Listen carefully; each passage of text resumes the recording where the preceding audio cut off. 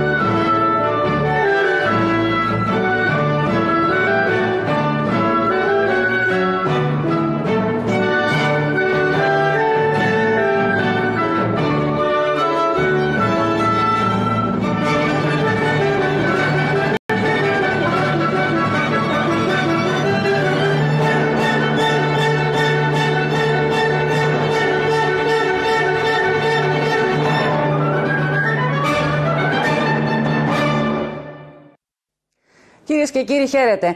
Αντίστροφη μέτρηση για τις ευρωεκλογές της 9η Ιουνίου και απόψε η εκπομπή Βουλής Βήμα θέτει στο επίκεντρο τη συζήτηση το διακύβευμα των ευρωεκλογών με αφορμή τη διεξαγωγή τηλεμαχίας μεταξύ των κορυφαίων υποψηφίων για την Προεδρία της Ευρωπαϊκής Επιτροπής στην αίθουσα της Ολομέλειας του Ευρωπαϊκού Κοινοβουλίου στις Βρυξέλλες. Πρόκειται για ένα debate που πραγματοποιείται κάθε πέντε χρόνια με ευθύνη της EBU, της Ευρωπαϊκής Ραδιοτηλεοπτικής Ένωσης, σε συνεργασία με τα Ευρωπαϊκά Πολιτικά Κόμματα και το Ευρωπαϊκό Κοινοβούλιο. Η διαδικασία κάθε πενταετία γίνεται πιο εξωστρεφή με καινοτόμες ιδέες. Ωστόσο, ο βασικός στόχος παραμένει η ανάγκη να δοθούν απαντήσεις στα κέρια ζητήματα που απασχολούν τους Ευρωπαίους πολίτες. Και αυτό θα επιχειρήσουμε σήμερα με τους καλεσμένους μας. Είναι ο κ. Κωνσταντίνος Τσουτσοπλίδης, ο οποίος είναι επικεφαλής του Γραφείου του Ευρωπαϊκού Κοινοβουλίου στην Ελλάδα. Έχετε διανύσει πολλά χιλιόμετρα αυτό το τελευταίο διάστημα και ε, εντός της χώρας, σε όλη τη χώρα και στις, ε, και στις Βρυξέλλες και τέλος πάντων προσπαθείτε να ενημερώσετε τον κόσμο και εμάς τους δημοσιογράφους. Καλώς ήρθατε. Καλώς σας βρήκα. Είναι μια παράλληλη πορεία θα έλεγα ε, με την προεκλογική προσπάθεια των κομμάτων και των υποψηφίων. ε, ελπίζω να έχει κάποιο αποτέλεσμα. Θα τα συζητήσουμε εδώ και ο κύριος Σπύρος Μπλαβούκος είναι καθηγητής στο Τμήμα Διεθνών και Ευρωπαϊκών Οικονομικών Σπουδών του Οικονομικού Πανεπιστημίου Αθηνών. Είναι και κύριος ερευνητής και επικεφαλής του προγράμματος Ευρωπαϊκή Θεσμή και Πολιτικές του ΕΛΙΑΜΕΠ. Και το ΕΛΙΑΜΕΠ εκπροσωπείται σε αυτό το debate με μια ερώτηση, κύριε Μπλαβούκο, την οποία θα μας πείτε στην ε, πορεία της εκπομπής. Σας ευχαριστώ για τον χρόνο σας και την παρουσία σας. Και εγώ ευχαριστώ πάρα πολύ. Στο τέλος της εκπομπής, να πω ότι θα παρακολουθήσουμε ολόκληρο το debate των κορυφαίων ε, υποψηφίων. Πάμε όμως πρώτα να δούμε έναν απολογισμό της ε, πενταετίας από το απερχόμενο κοινοβούλιο και από την πρόεδρό του, την Ρομπέρτα Μέτσολα. The date for the next European election has been set. From the 6th to the 9th of June 2024, every person in every member state will go to vote. European Union democracy is more important today than ever.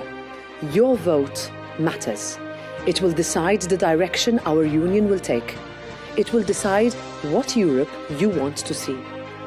Over the past years, we have experienced a global pandemic, war on our continent, an energy crisis, inflation, and cyber warfare, all while the clock of a climate emergency keeps on ticking. The European Union has delivered. Our response has been unprecedented. We have come together in defense of our values and for our way of life. We have done this in solidarity. We have been firm in our support of Ukraine. We have procured vaccines for all European Union citizens because we have realized that we get more when we are together. Today, EU citizens are more protected in the event of an emergency or a disaster. We have seen Romanian firefighters in Spain, French patients treated in Luxembourg hospitals, Slovenian rescue workers helping Italy, Estonian cyber tech providing security for us all. That is solidarity. That is Europe.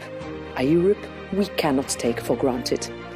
And we are working for more fairness between people with new rules for equal pay. Our new European migration laws will mean a process that is fair with those in need of protection, firm with those who are not eligible, and strong against traffickers exploiting the most vulnerable. Our new European climate laws will mean cleaner air, healthier rivers and seas, stronger economies.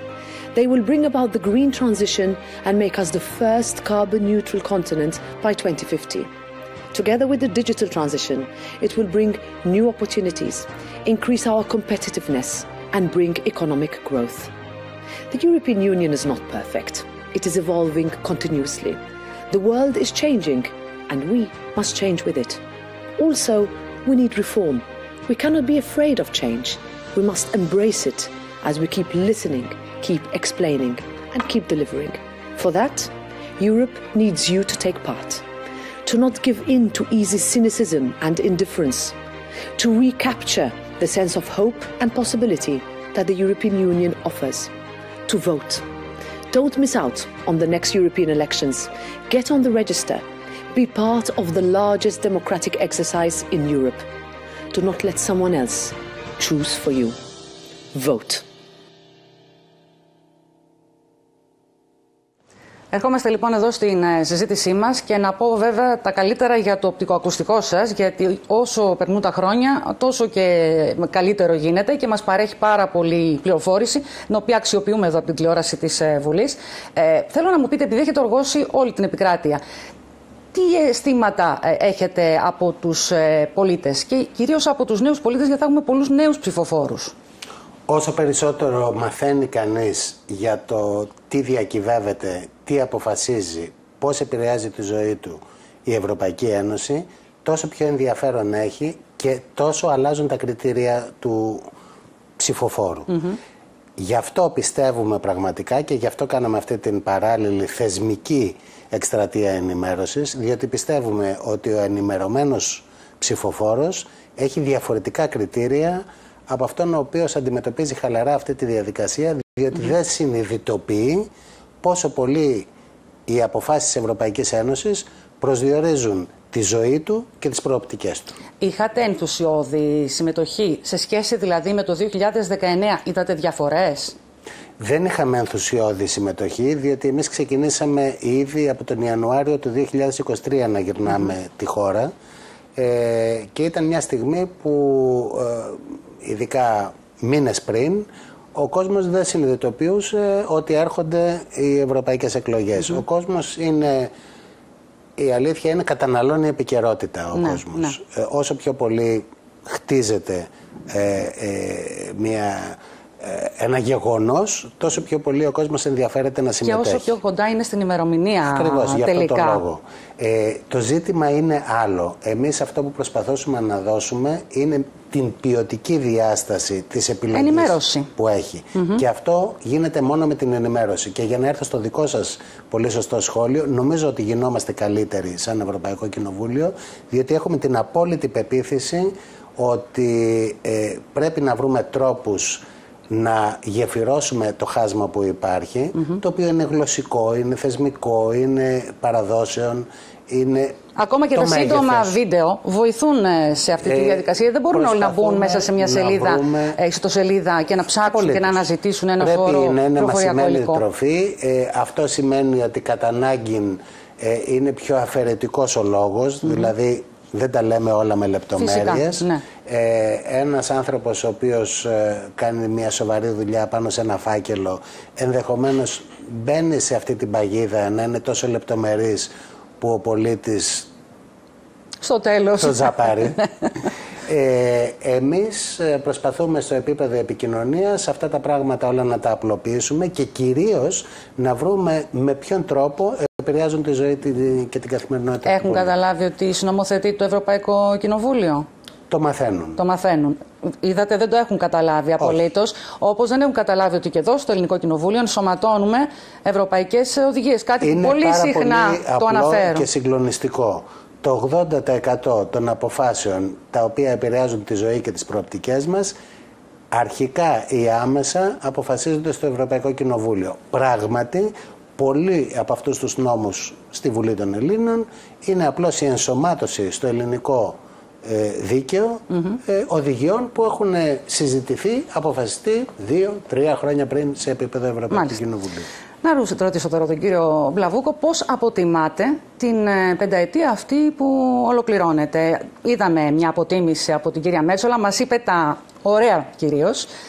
Υπάρχουν όμως και μελανά σημεία. Λοιπόν, πώς την αποτιμάτε εσείς; Πρώτα να κάνω και εγώ ένα μικρό σχόλιο, επειδή ε, αντίστοιχα και παράλληλα προφανώς με τη μεγάλη κινητοποίηση που έχει κάνει το Ευρωπαϊκό Κοινοβούλιο, έχουμε και εμείς κάνει κάποιες σειρέ δράσεων στην περιφέρεια. ε, οπότε θα ήθελα και εγώ να μοιραστώ την εμπειρία σας που είναι. Ε, ε, σύμφωνα με στις ίδιες γραμμές κινείται.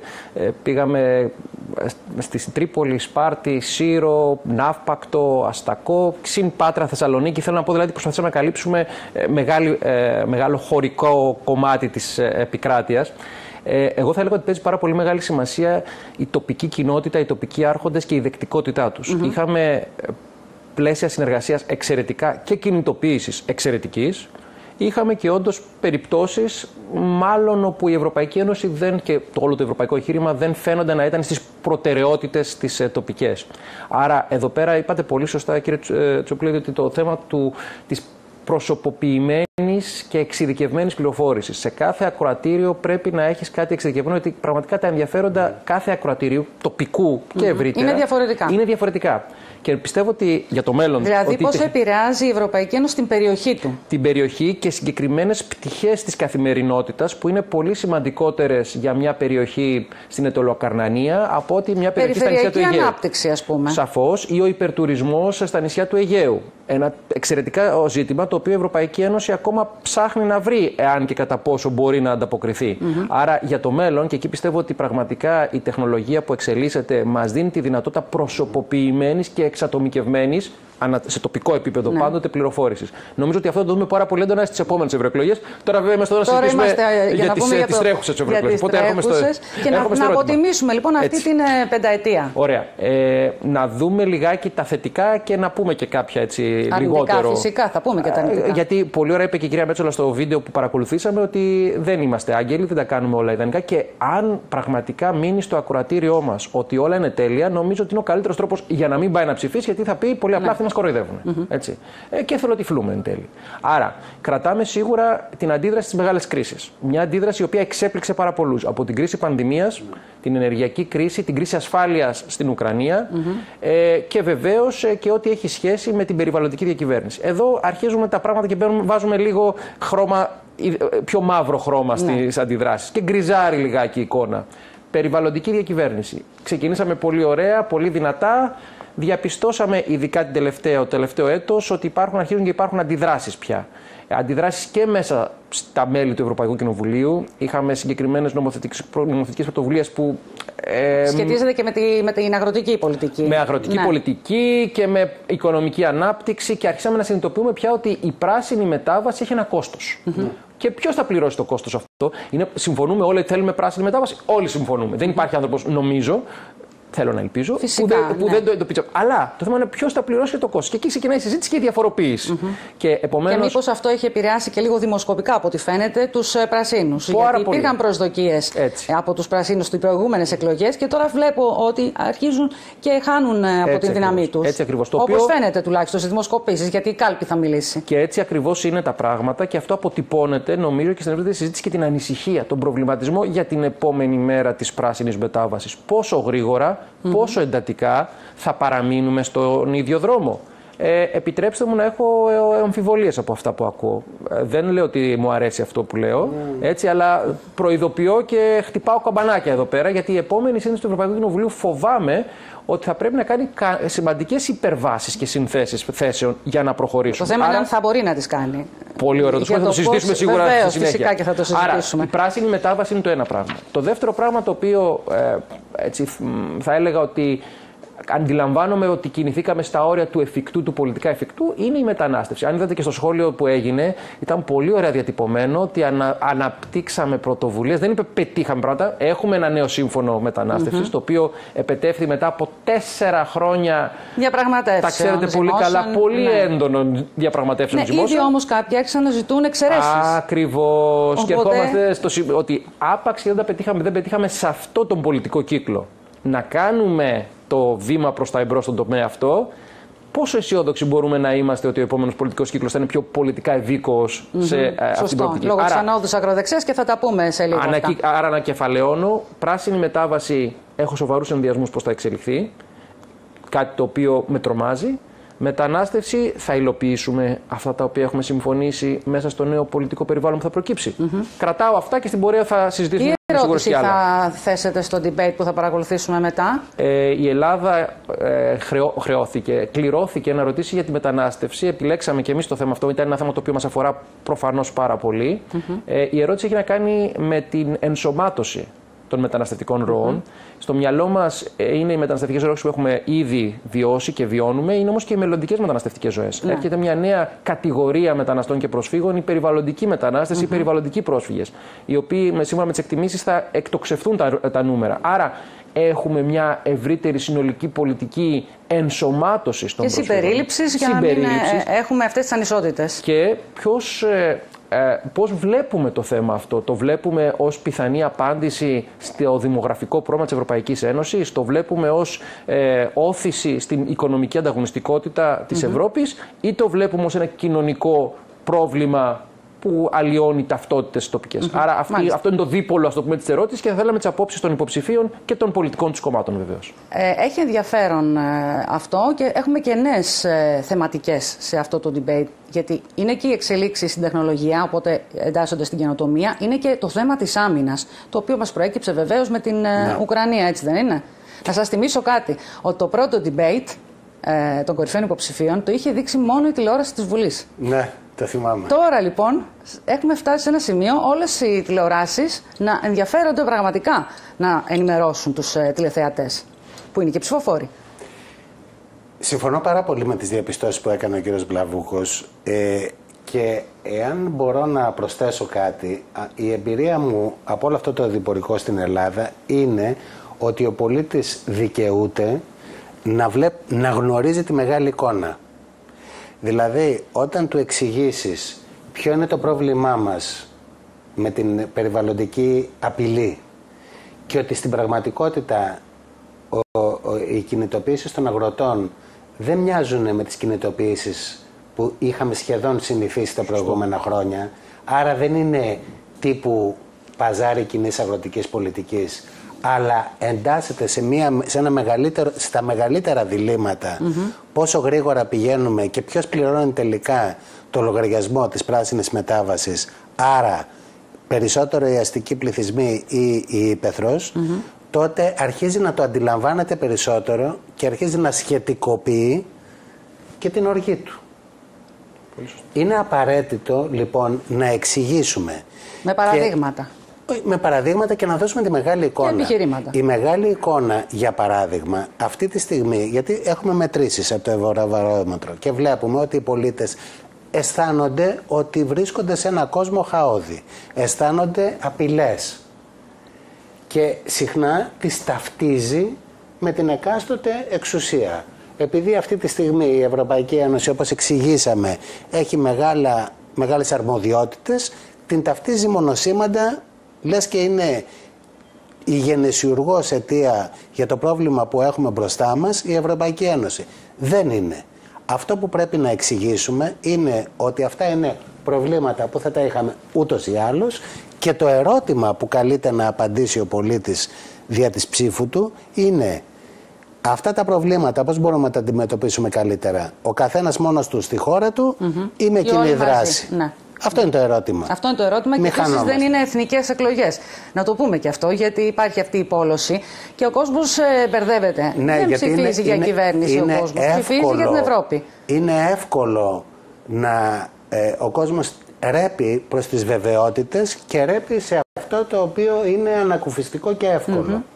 Αυτό είναι να αποφευθεί η χαλαρή ψήφος. Να ψηφίσει συνειδητοποιημένα. Ο ναι. πολίτης, όποιον θέλει, αλλά συνειδητοποιημένα. Κάποιος πρέπει να του το εξηγήσει. Κάποιος πρέπει να του το εξηγήσει. Προσπαθούμε να εξηγήσουμε ό,τι μπορούμε. Θα ήθελα να δείξουμε τους πρωταγωνιστές ε, του debate, να mm. τους γνωρίσουν ε, οι τηλεθεατές, γιατί και εγώ τώρα τους γνώρισα. Εκτός από την Ursula von der Leyen, τα υπόλοιπα πρόσωπα δεν μου ήταν ε, γνωστά. Ε, αν μπορούμε να δούμε, παρακαλώ, την κάρτα από την Ευρωπαϊκή Αριστερά και από την Αυστρία, ο Βάλτερ Μπάιερ από το Renew Europe, ο Σάντρο Γκότσι, από τη, ε, Ιταλός, από τη Γερμανία Ευρωπαϊκό Λαϊκό Κόμμα η Ούρσουλα Φόντερ Λάιεν, η Τέρι και από τη Γερμανία εκπροσωπεί τους Ευρωπαίους Πράσινους, Νίκολας ε, Σμιτ ε, Λουξεμβούργο, κόμμα των Ευρωπαίων ε, Σοσιαλιστών. Αυτά είναι τα πρόσωπα που θα συμμετάσχουν στην τηλεμαχία. Απευθύνατε προσκλήσεις και στα υπόλοιπα κόμματα, στις υπόλοιπες ομάδες δηλαδή των, της, αριστερα, της ακροδεξιάς. Ναι. Αλλά δεν είχατε θετική ανταπόκριση ανταποκρίθηκαν αυτοί που πιστεύουν στην κοινή δράση τα επόμενα χρόνια. Mm Ωστόσο έδωσαν το παρόν στο debate του Μάστρικ. Στο Μάστρικ. Ναι. Ε, και ναι. εκεί είχαν και κάποιες ε, Για να κάνουν τις καταγγελίες Ναι, εντάσεις με την Ursula von der Leyen. Ε, ποια είναι λοιπόν η δική σας άποψη για αυτό το debate κύριε Βλαβούκο; Είναι χρήσιμο καταρχήν; Χρήσιμο είναι ότι πρώτα απ' όλα τους γνωρίζουμε τους υποψηφίους αυτούς, εκ των οποίων ένας μάλλον και το μάλλον αναγνωρίζουμε όλοι ότι θα υπάρχει και δεύτερος γύρος ζυμώσεων, θα είναι ο επικεφαλής της Ευρωπαϊκής Επιτροπής, που είναι πολύ απλά να το πούμε η κυβέρνηση της Ευρωπαϊκής Ένωσης, ναι. η εκτελεστική εξουσία. Άρα, Αυτό το μάλλον όμως το κρατάω, γιατί έχει να κάνει με το ποια, ποιοι θα είναι οι συσχετισμοί και τι θα γίνει στην ε, ψηφοφορία στο Ευρωπαϊκό Κοινοβούλιο και όλα βέβαια θα είναι αποτέλεσμα του ποιες θα είναι οι ομάδες που θα διαμορφωθούν την επόμενη μέρα. Για να το εξηγήσουμε λιγάκι. Γιατί και στους... κάποτε ε, κορυφαίος υποψήφιος ε, ήταν ο Μανφρεντ Βέμπερ. Δεν έγινε όμως ε, ποτέ πρόεδρος. Ακριβώς να το εξηγήσουμε λιγάκι και στους ε, θεατές, στους τηλεθεατές, να πούμε ότι οι υποψήφοι αυτοί προτείνονται από κάποιες πολιτικές ομάδες, ευρωπαϊκές πολιτικές ομάδες. Ε, η πολιτική ομάδα που θα έχει την πλειοψηφία στην Ευρωπαϊκή, στο Ευρωπαϊκό Κοινοβούλιο, ο υποψήφιος τη είναι αυτός το οποίος θα είναι ο υποψήφιος για την θέση του Επιτρόπου, του, του Προέδρου της Επιτροπής. Τώρα, αν θα είναι τελικά αυτό το άτομο, όπως είπατε πολύ καλά, έχουμε δύο εμπειρίες ήδη. Το 2014 μια χαρά κύλησε η διαδικασία ομαλότατα και μάλιστα το χαιρετήσαμε ως μια δημοκρατική τομή mm-hmm. στο όλο το θεσμικό αρχιτεκτο... στην θεσμική αρχιτεκτονική της Ευρωπαϊκής Ένωσης. Το 2019 αναφέρατε ήδη ότι ο κύριος υποψήφιος εχμής ε, του Ευρωπαϊκού Λαϊκού Κόμματος εν τέλει ε, δεν ε, ήταν αυτός ο οποίος προχώρησε να γίνει και να λάβει και την έγκριση του Ευρωπαϊκού Κοινοβουλίου. Προτάθηκε η κυρία Φόντερ Λάιν, η νυν πρόεδρος της Ευρωπαϊκής Επιτροπής, στη θέση του. Με Άρα, οριακή ε, Και πάλι και ψηφίστηκε επίσης με οριακή πλειοψηφία που γεννάει θέματα ευρύτερης νομιμοποίησης. Και εδώ να το κρατήσουμε αυτό. Γιατί, γιατί ε, από τη μια μεριά αντιλαμβάνεστε κάποιος ότι η δημοκρατική αξία να σεβαστούμε το αποτέλεσμα των ευρωπαϊκών εκλογών και ούτω καθεξής, που θα το σεβαστούμε αυτό αντίθετο θέμα. Από την άλλη μεριά όμως χρειάζεται ένας πρόεδρος επιτροπής να έχει μια ευρύτερη πολιτική νομιμοποίηση. Mm-hmm. Να είναι δηλαδή ευρύτερα αποδεκτός και να μπορεί να συνεπάρξει ε, και με διαφορετικές πολιτικές ομάδες και με διαφορετικές πολιτικές δυναμικές.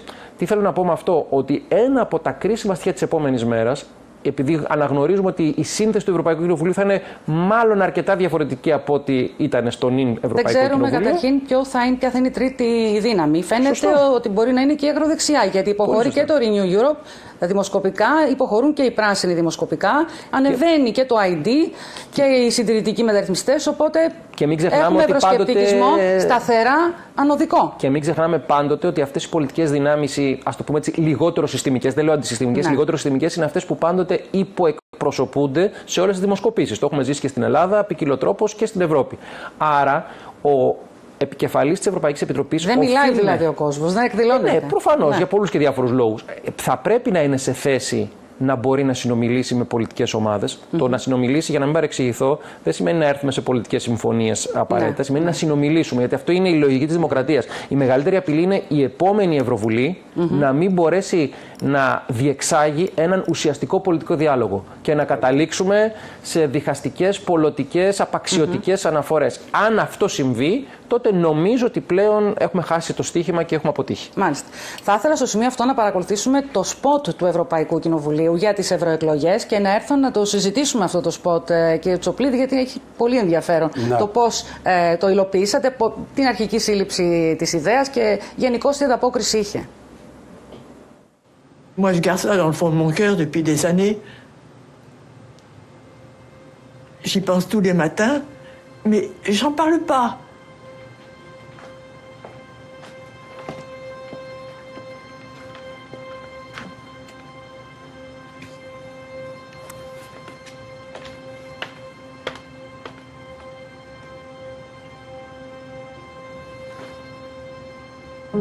Bien, Robin, c'est que je ne devrais pas être ici aujourd'hui. J'aurais dû être morte le 17 juin 1940. Na 21. jsem měla telefon, že nás obsazují, eh, obsazuje armáda. Což jsme považovali za něco, že to vůbec není možné. To byl takový šok. How do you feel about what's happened here in Prague? We hope that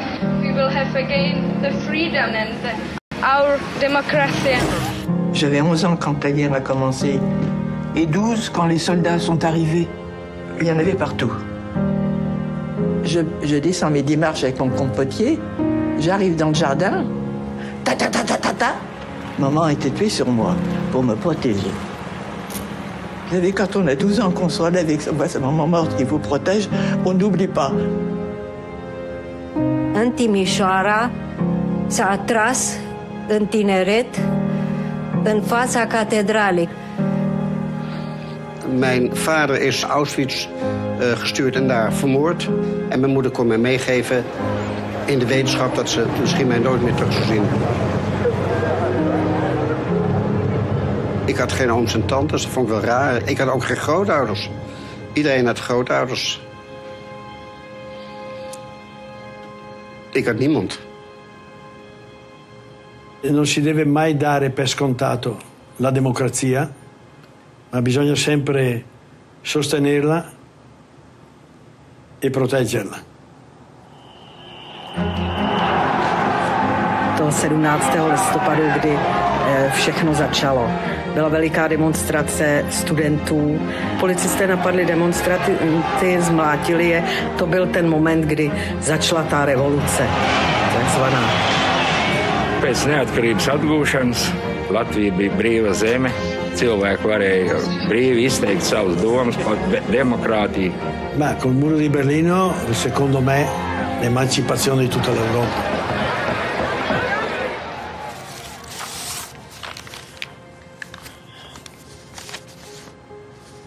Lieve Suzanne, lieve Suus.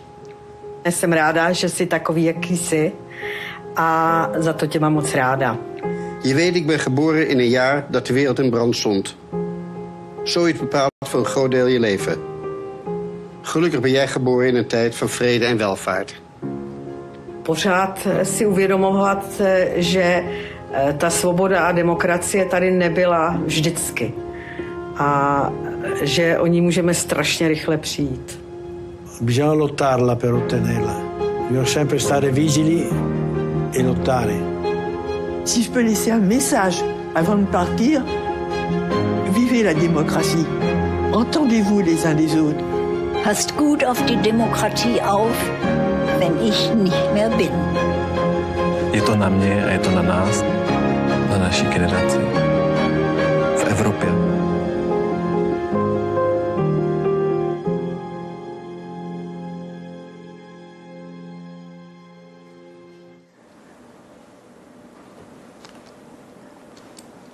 Ερχόμαστε εδώ να σχολιάσουμε αυτό το πολύ ενδιαφέρον ε, σποτ. Ποιο είχε αυτή την ε, ιδέα, Κοιτάξτε, είναι μια διαδικασία. Ε, την είχε ένα καταπληκτικό γραφείο στην Δανία.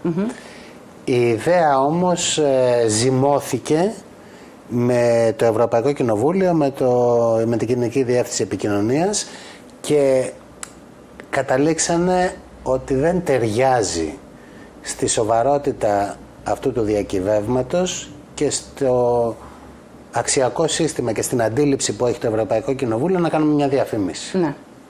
Και κάνανε μια διαδικασία.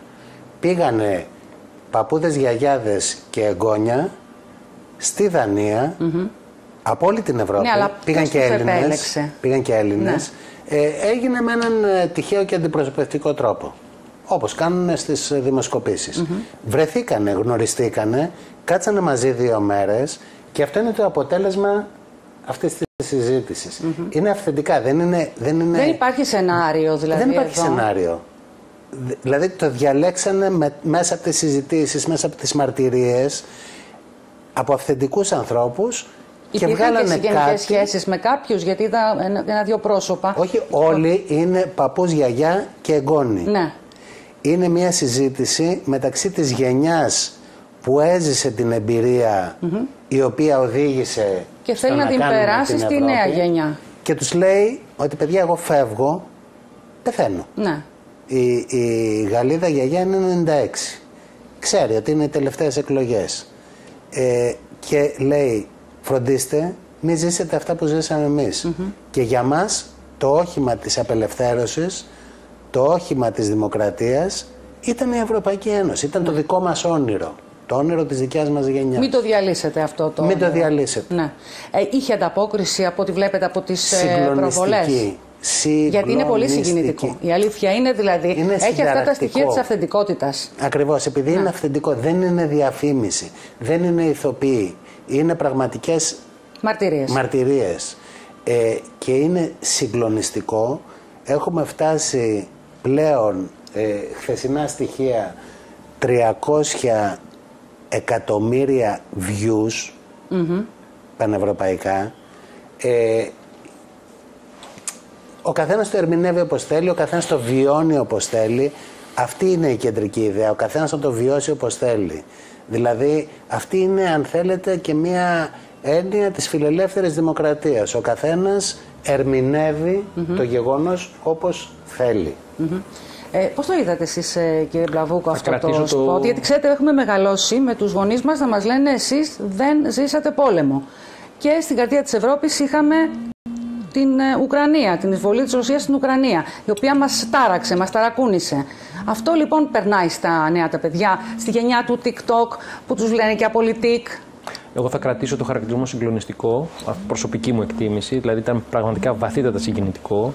Ε, νομίζω ότι περνάει ακριβώς ένα μήνυμα της επόμενης μέρας της Ευρώπης να μην χάσουμε τα κεκτημένα, να μην χάσουμε αυτά τα οποία προηγούμενες γενιές έχουν μοχθήσει να εγκαταστήσουμε ως Ευρωπαϊ- στην Ευρωπαϊκή Ήπειρο και νομίζω ότι δίνει και ένα στίγμα του επόμενου οράματος, αυτό το οποίο χρειαζόμαστε, γιατί ε, όντως αυτές οι κρίσεις που είπαμε, ασφάλειας, πόλεμοι και όλα αυτά, ξαναφέρουν την παλιά πρόκληση πάλι στο προσκήνιο. Το ερώτημα είναι, είναι πλέον αρκετό αυτό από μόνο του ως νέο όραμα, το όραμα της ειρήνης. Ε, φοβάμαι ότι είναι και δεν το έχουμε καταλάβει γιατί πάμε πάλι να ανακαλύψουμε τον τροχό, Ναι. αλλά πρέπει να το συμπληρώσουμε και από ένα νέο όραμα κατά τη γνώμη μου. Άρα το επόμενο μη- μήνυμα, το επόμενο βήμα θα ήταν η κοινωνική ισότητα, η κοινωνική δικαιοσύνη, η αλληλεγγύη ως ε, ένα νέο όραμα ευρωπαϊκής ολοκλήρωσης. Νομίζω ότι οι νέοι θα κουμπώσουν στο αίτημα περί ειρήνης και στο όραμα περί ειρήνης, το όραμα περί κοινωνικής δικαιοσύνης. Αυτά τα είναι- δύο αισθάνομαι είναι ότι είναι η απολυτικ, σύνθεση. θεωρείτε και Βλαβούκο; Θα είμαι πολύ ξεκάθαρος. Αν δεν τους τα δώσεις την, ε, το απαραίτητο ερέθισμα και την απαραίτητη όθηση να τοποθετηθούν, ναι, πολύ απλά θα απαξιώσουν οποιαδήποτε διαδικασία. Αν προσέξεις τι λένε, αν τους ε, α, ακουμπήσεις, αν τους ακούσεις, Ξέρετε, μιλάμε τώρα για νέους, νέους, νέους, να κινητοποιήσουμε τους νέους και ούτω καθεξής. Ε, πολύ φοβάμαι και εδώ χτυπάω πάλι κομποδό να κουνεί και Να σε τους όλους μας. απαντήσεις στις ανησυχίες τους. Και την επόμενη μέρα των ευρωεκλογών να μην τους αφήσεις έξω από τις διαδικασίες, τις αδεξ- διαδικασίες συμμετοχικής δημοκρατίας. Και πρέπει να χτίσουμε πλέον και να αρχίσουμε να χτίζουμε ως Ευρώπη και χαίρομαι γιατί υπάρχουν πάρα πολλές πρωτοβουλίες, υπάρχουν πάρα πολλά εγχειρήματα συμμετοχικής δημοκρατίας, ευρύτερων διαβουλεύσεων, κοινότητες πολιτών, για ζητήματα πράσινης μετάβασης, για ζητήματα συμμετοχής των νέων, σε τοπικό, περιφερειακό και εθνικό επίπεδο. Αυτά είναι νομίζω τα μεγάλα τα βήματα με τα οποία θα φέρει τους νέους μπροστά. Αν τους δώσεις χώρο και πλαίσιο, προσωπικά αισθάνομαι ότι έχουν πάρα πολλά πράγματα να πούνε και να συνεισφέρουν. Ναι. Ε, Στίχημα είναι και η- η συμμετοχή στις ε, ευρωεκλογές. Ε, Είχαμε συμμετοχή το 2019 σχεδόν στο 51%, ήταν ρεκόρ 20 ετίας. Ε, έχω σημειώσει ότι το 1979 είχαμε 63%. Μετά ήταν μια φθήνουσα πορεία και είχαμε ανωδική. Πιστεύετε ότι, να ρωτήσω εσάς κύριε Τσοπλίδη, ότι θα ανέβει το ποσοστό σε σχέση με το 2019 στη συμμετοχή; Πανευρωπαϊκά. Πανευρωπαϊκά, μιλάτε η Ελλάδα. πανευρωπαϊκά, ας μην μείνουμε στην Ελλάδα μόνο. Ακούστε, εγώ θα διαβάσω το φαινόμενο ως εξής. Είχαμε πράγματι μια συνεχή καθοδική πορεία στη συμμετοχή από τις πρώτες ε, ευρωπαϊκές εκλογές μέχρι το 19. Γιατί το 19 είχαμε μια αναστροφή, άρα μεγαλύτερη συμμετοχή που είχαμε τη δούμε 20 χρόνια; Γιατί το 19 είχαμε για πρώτη φορά απειλή. Η δημοκρατία είναι ένα ε, ε, ε, πολίτευμα το οποίο τρέφεται από την πολιτική διαπάλη. Αρμονία και όλοι να συμφωνούμε, μόνο οι δικτατορίες επαγγέλλονται. Ε, με αυτή τη λογική, εάν πράγματι και τώρα ε, ο, ο κόσμος συνειδητοποιήσει τι διακυβεύεται και τι απειλείται, από πού έρχονται οι απειλές, ναι θα έχουμε υψηλή συμμετοχή. Αλλά επιτρέψτε μου, σε συνέχεια των διαπιστώσεων του κυρίου Μπλαβούκου, πρέπει να προσπαθήσουμε να κωδικοποιήσουμε λιγάκι το φαινόμενο. Γιατί η Ευρωπαϊκή Ένωση είναι ένα μοναδικό ιστορικό φαινόμενο. Δεν μοιάζει με τίποτε άλλο. Το οποίο αλλάζει, ε, έτσι, κάθε δεκαετία εξελίσσεται. εξελίσσεται και πρέπει να, να, να εξυγχρονίσουμε το, το, το ζητούμενο. Η Ευρωπαϊκή Ένωση δημιουργήθηκε απλά για να φέρει ειρήνη. Κατάφερε όμως να δημιουργήσει ένα μοναδικό τρόπο, μια μοναδική δημόσια διαχείριση η οποία έχει όχι μόνο ειρήνη, έχει ειρήνη, δημοκρατία και ευημερία και αυτά τα πράγματα, οτιδήποτε αφαιρέσεις από αυτό τον πύργο των τριών επιτευγμάτων, θα καταρρεύσουν και τα άλλα δύο. Στην πραγματικότητα δεν ζητάει κάτι διαφορετικό ο κόσμος σήμερα. Ζητάει πάλι ειρήνη, δημοκρατία και ευημερία για τις συνθήκες όμως του σήμερα. Και αν κάνω και μία ε, ε, ε, επέκταση αυτής της συζήτησης για τους νέους, οι νέοι δεν είναι απολυτικ. Οι νέοι βρίσκονται στην πολυτελή θέση να μην γίνονται κοπάδι για κανέναν. Ναι. Ο νέος αναγνωρίζει με μεγαλύτερη ευχέρεια τι είναι μη αυθεντικο και ζητάει το αυθεντικό. Το Έχει και αυθεντι- μια επαναστατική ε, διάθεση. το αυθε... ε, είχε και πριν από πολλά χρόνια, αλλά γινόταν κοπάδι στην Επανάσταση. Τώρα είναι ε, μια ανεξάρτητη προσωπικότητα την οποία πρέπει να σεβόμαστε και πρέπει να καταλαβαίνουμε ότι αναγνωρίζει το κάλπικο πολύ πιο εύκολα από ό,τι στο παρελθόν. Με αυτούς τους όρους πρέπει να απευθυνθούμε στη συζήτηση και ίσως αυτοί είναι οι όροι με τους οποίους θα ξαναγίνει ε, ελκυστική η συμμετοχική δημοκρατία στο και μέλλον. Εσείς συμμετείχατε σε συναντήσεις πολλές ε, με Πολλές. νέους και μέσα από τα σχολεία πρέσβης Ναι. ε, που είναι ένας ε, θεσμός και η κυρία Μέτσολα ε, η οποία έκανε μεγάλες περιοδίες ε, στην Ευρωπαϊκή Ένωση ήρθε και στη χώρα μας είχε συναντήσεις ε, με νέους και τις καταφέραμε- έθεσαν τις ερωτήσεις τους. Ε, καταφέραμε να μία τρίτη μεσημέρι που σιγά να μην καταφέρεις να μαζέψεις νέους βρεθήκανε, βρέθηκε ενώπιον ενός ακροατηρίου στο Οδείο Αθηνών 600 νέων. Γιατί; Γιατί υποσχέθηκε ότι δεν θα μιλήσει θα Αλλά θα απαντήσει, ακούσει. θα απαντήσει σε ό,τι και αν τη ρωτησουν Αυτή είναι η ευθύνη μας. Ρωτήστε ό,τι θέλετε και θα απαντήσουμε. Ναι. Βεβαίως. Και αν δεν μπορούμε, θα πούμε δεν μπορούμε. Ναι. Και δεν θα σας πούμε ένα παραμύθι. Και εδώ είναι η πρόκληση στο debate αυτό που λέμε. Όταν εγώ χαίρομαι να ακούω από έναν υποψήφιο, αντί να πετάει την μπάλα στην εξέδρα με μια περίτεχνη ρητορική περικοκλάδα, να πει Μμμ. αυτό το θέμα δεν το γνωρίζω ή σε αυτό το θέμα επιλέγω να μην απαντήσω για τον ΑΒ λόγο. Ναι. Είναι η γνησιότητα πια που νομίζω ότι είναι ζητούμενο στην πολιτική σκηνή και στον πολιτικό Έχει λόγο. ε, οριμάσει νομίζω αυτή η διαδικασία. Το βλέπουμε στο πολιτικό σύστημα ότι προτιμούν την εξωστρέφεια και να έρθουν πιο κοντά στον ε, πολίτη από το να κρατήσουν ένα κείμενο, να διαβάσουν αυτό το κείμενο και να ε, αποχωρήσουν. Νομίζω ότι έχει αλλάξει αρκετά. Πάμε να παρακολουθήσουμε ένα ακόμη βίντεο με κάποιες ε, συνεντεύξεις ε, συμμετεχόντων στο σποτ ε, του Ευρωπαϊκού Κοινοβουλίου για τις ευρωεκλογές. Da quando abbiamo fatto l'Europa unita democratica è 80 anni che non ci sono state guerre fra di noi. Perciò ci credo fermamente e spero che anche i giovani la capiscano. E nel mio piccolo tento di dargli una mano. Il tema è di una cosa che è comune a tutti e due, è un po' il passaggio di consegna dalla loro generazione alla nostra. Insomma, loro hanno visto eh, un po' eh, il costo della democrazia perché si è lottato per, per ottenerla e insomma, vorrebbero passarla in qualche modo intatta alla nostra. Il faut voter. Il faut, voter, faut que le peuple s'entende entre eux. Il faut voter pour faire l'Europe. Et moi, du haut de mes 12 ans, je l'avais inventé, la démocratie, l'Europe, sans, le faire exprès. Quand sur la tombe de ma mère, je allé lui dire, la prenant pour une sainte, la pauvre femme, Maman, je t'en supplie, fais que les peuples ne se fassent plus la guerre. Et j'avais inventé ça, j'avais 12 ans. Maman, je t'en supplie, faites que les peuples ne se fassent plus jamais la guerre. En, en 40, on n'en parlait pas de ça. Ben, vous savez, pour qu'une gosse de 12 ans invente la démocratie à 12 ans, il faut qu'on en ait vu toutes les couleurs. Eh ben non. Maintenant, j'en ai 96, j'ai pas changé d'avis. Ne faites plus la... Arrangez-vous, ne vous battez plus, arrangez-vous, faites la démocratie et votez pour que ça n'existe plus. Je ne pense pas qu'on est au bord du gouffre. Je ne pense pas que la démocratie soit absolument en danger tout de suite. Mais c'est une possibilité. Et je pense que pour qu'elle le soit le moins possible en danger, il faut toujours la chérir un maximum et euh, s'investir, voter et euh, partager son expérience. Mijn ervaring is dat het eh, heel belangrijk is dat eh, wij stilstaan bij democratie. Dat we beseffen dat er eh, voor een democratisch Europa. Dat eh, als we dat niet zouden doen, dat we dan mogelijk terug zouden vallen waar ooit Europa was. In een, werelddeel waar me- men elkaar bevocht. Eh, Frankrijk en Duitsland bevocht- be- bevochten elkaar de macht. Eh, die fase zijn voorbij. We kiezen nu een, een, een, een eenheid. We zijn één eh, eenheid Europa aan het worden.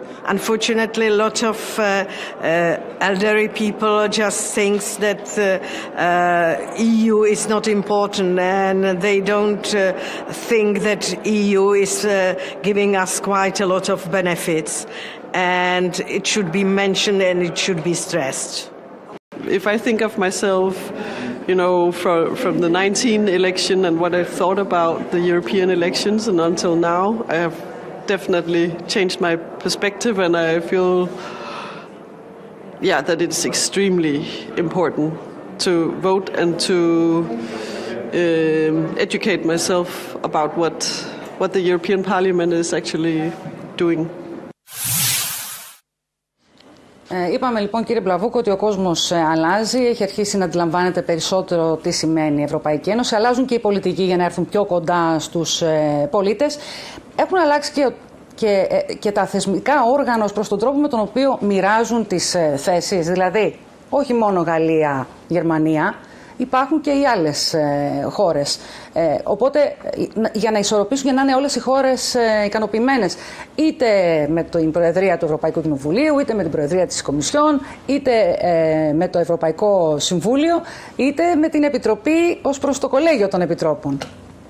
Ε, ανέκαθεν υπήρχε μια πολιτική διελκυστίνδα σχετικά με τα πρόσωπα, ε, τόσο την εθνική τους προέλευση, όσο και την πολιτική τους ταυτότητα, την, την ιδεολογία τους, ας το πούμε έτσι.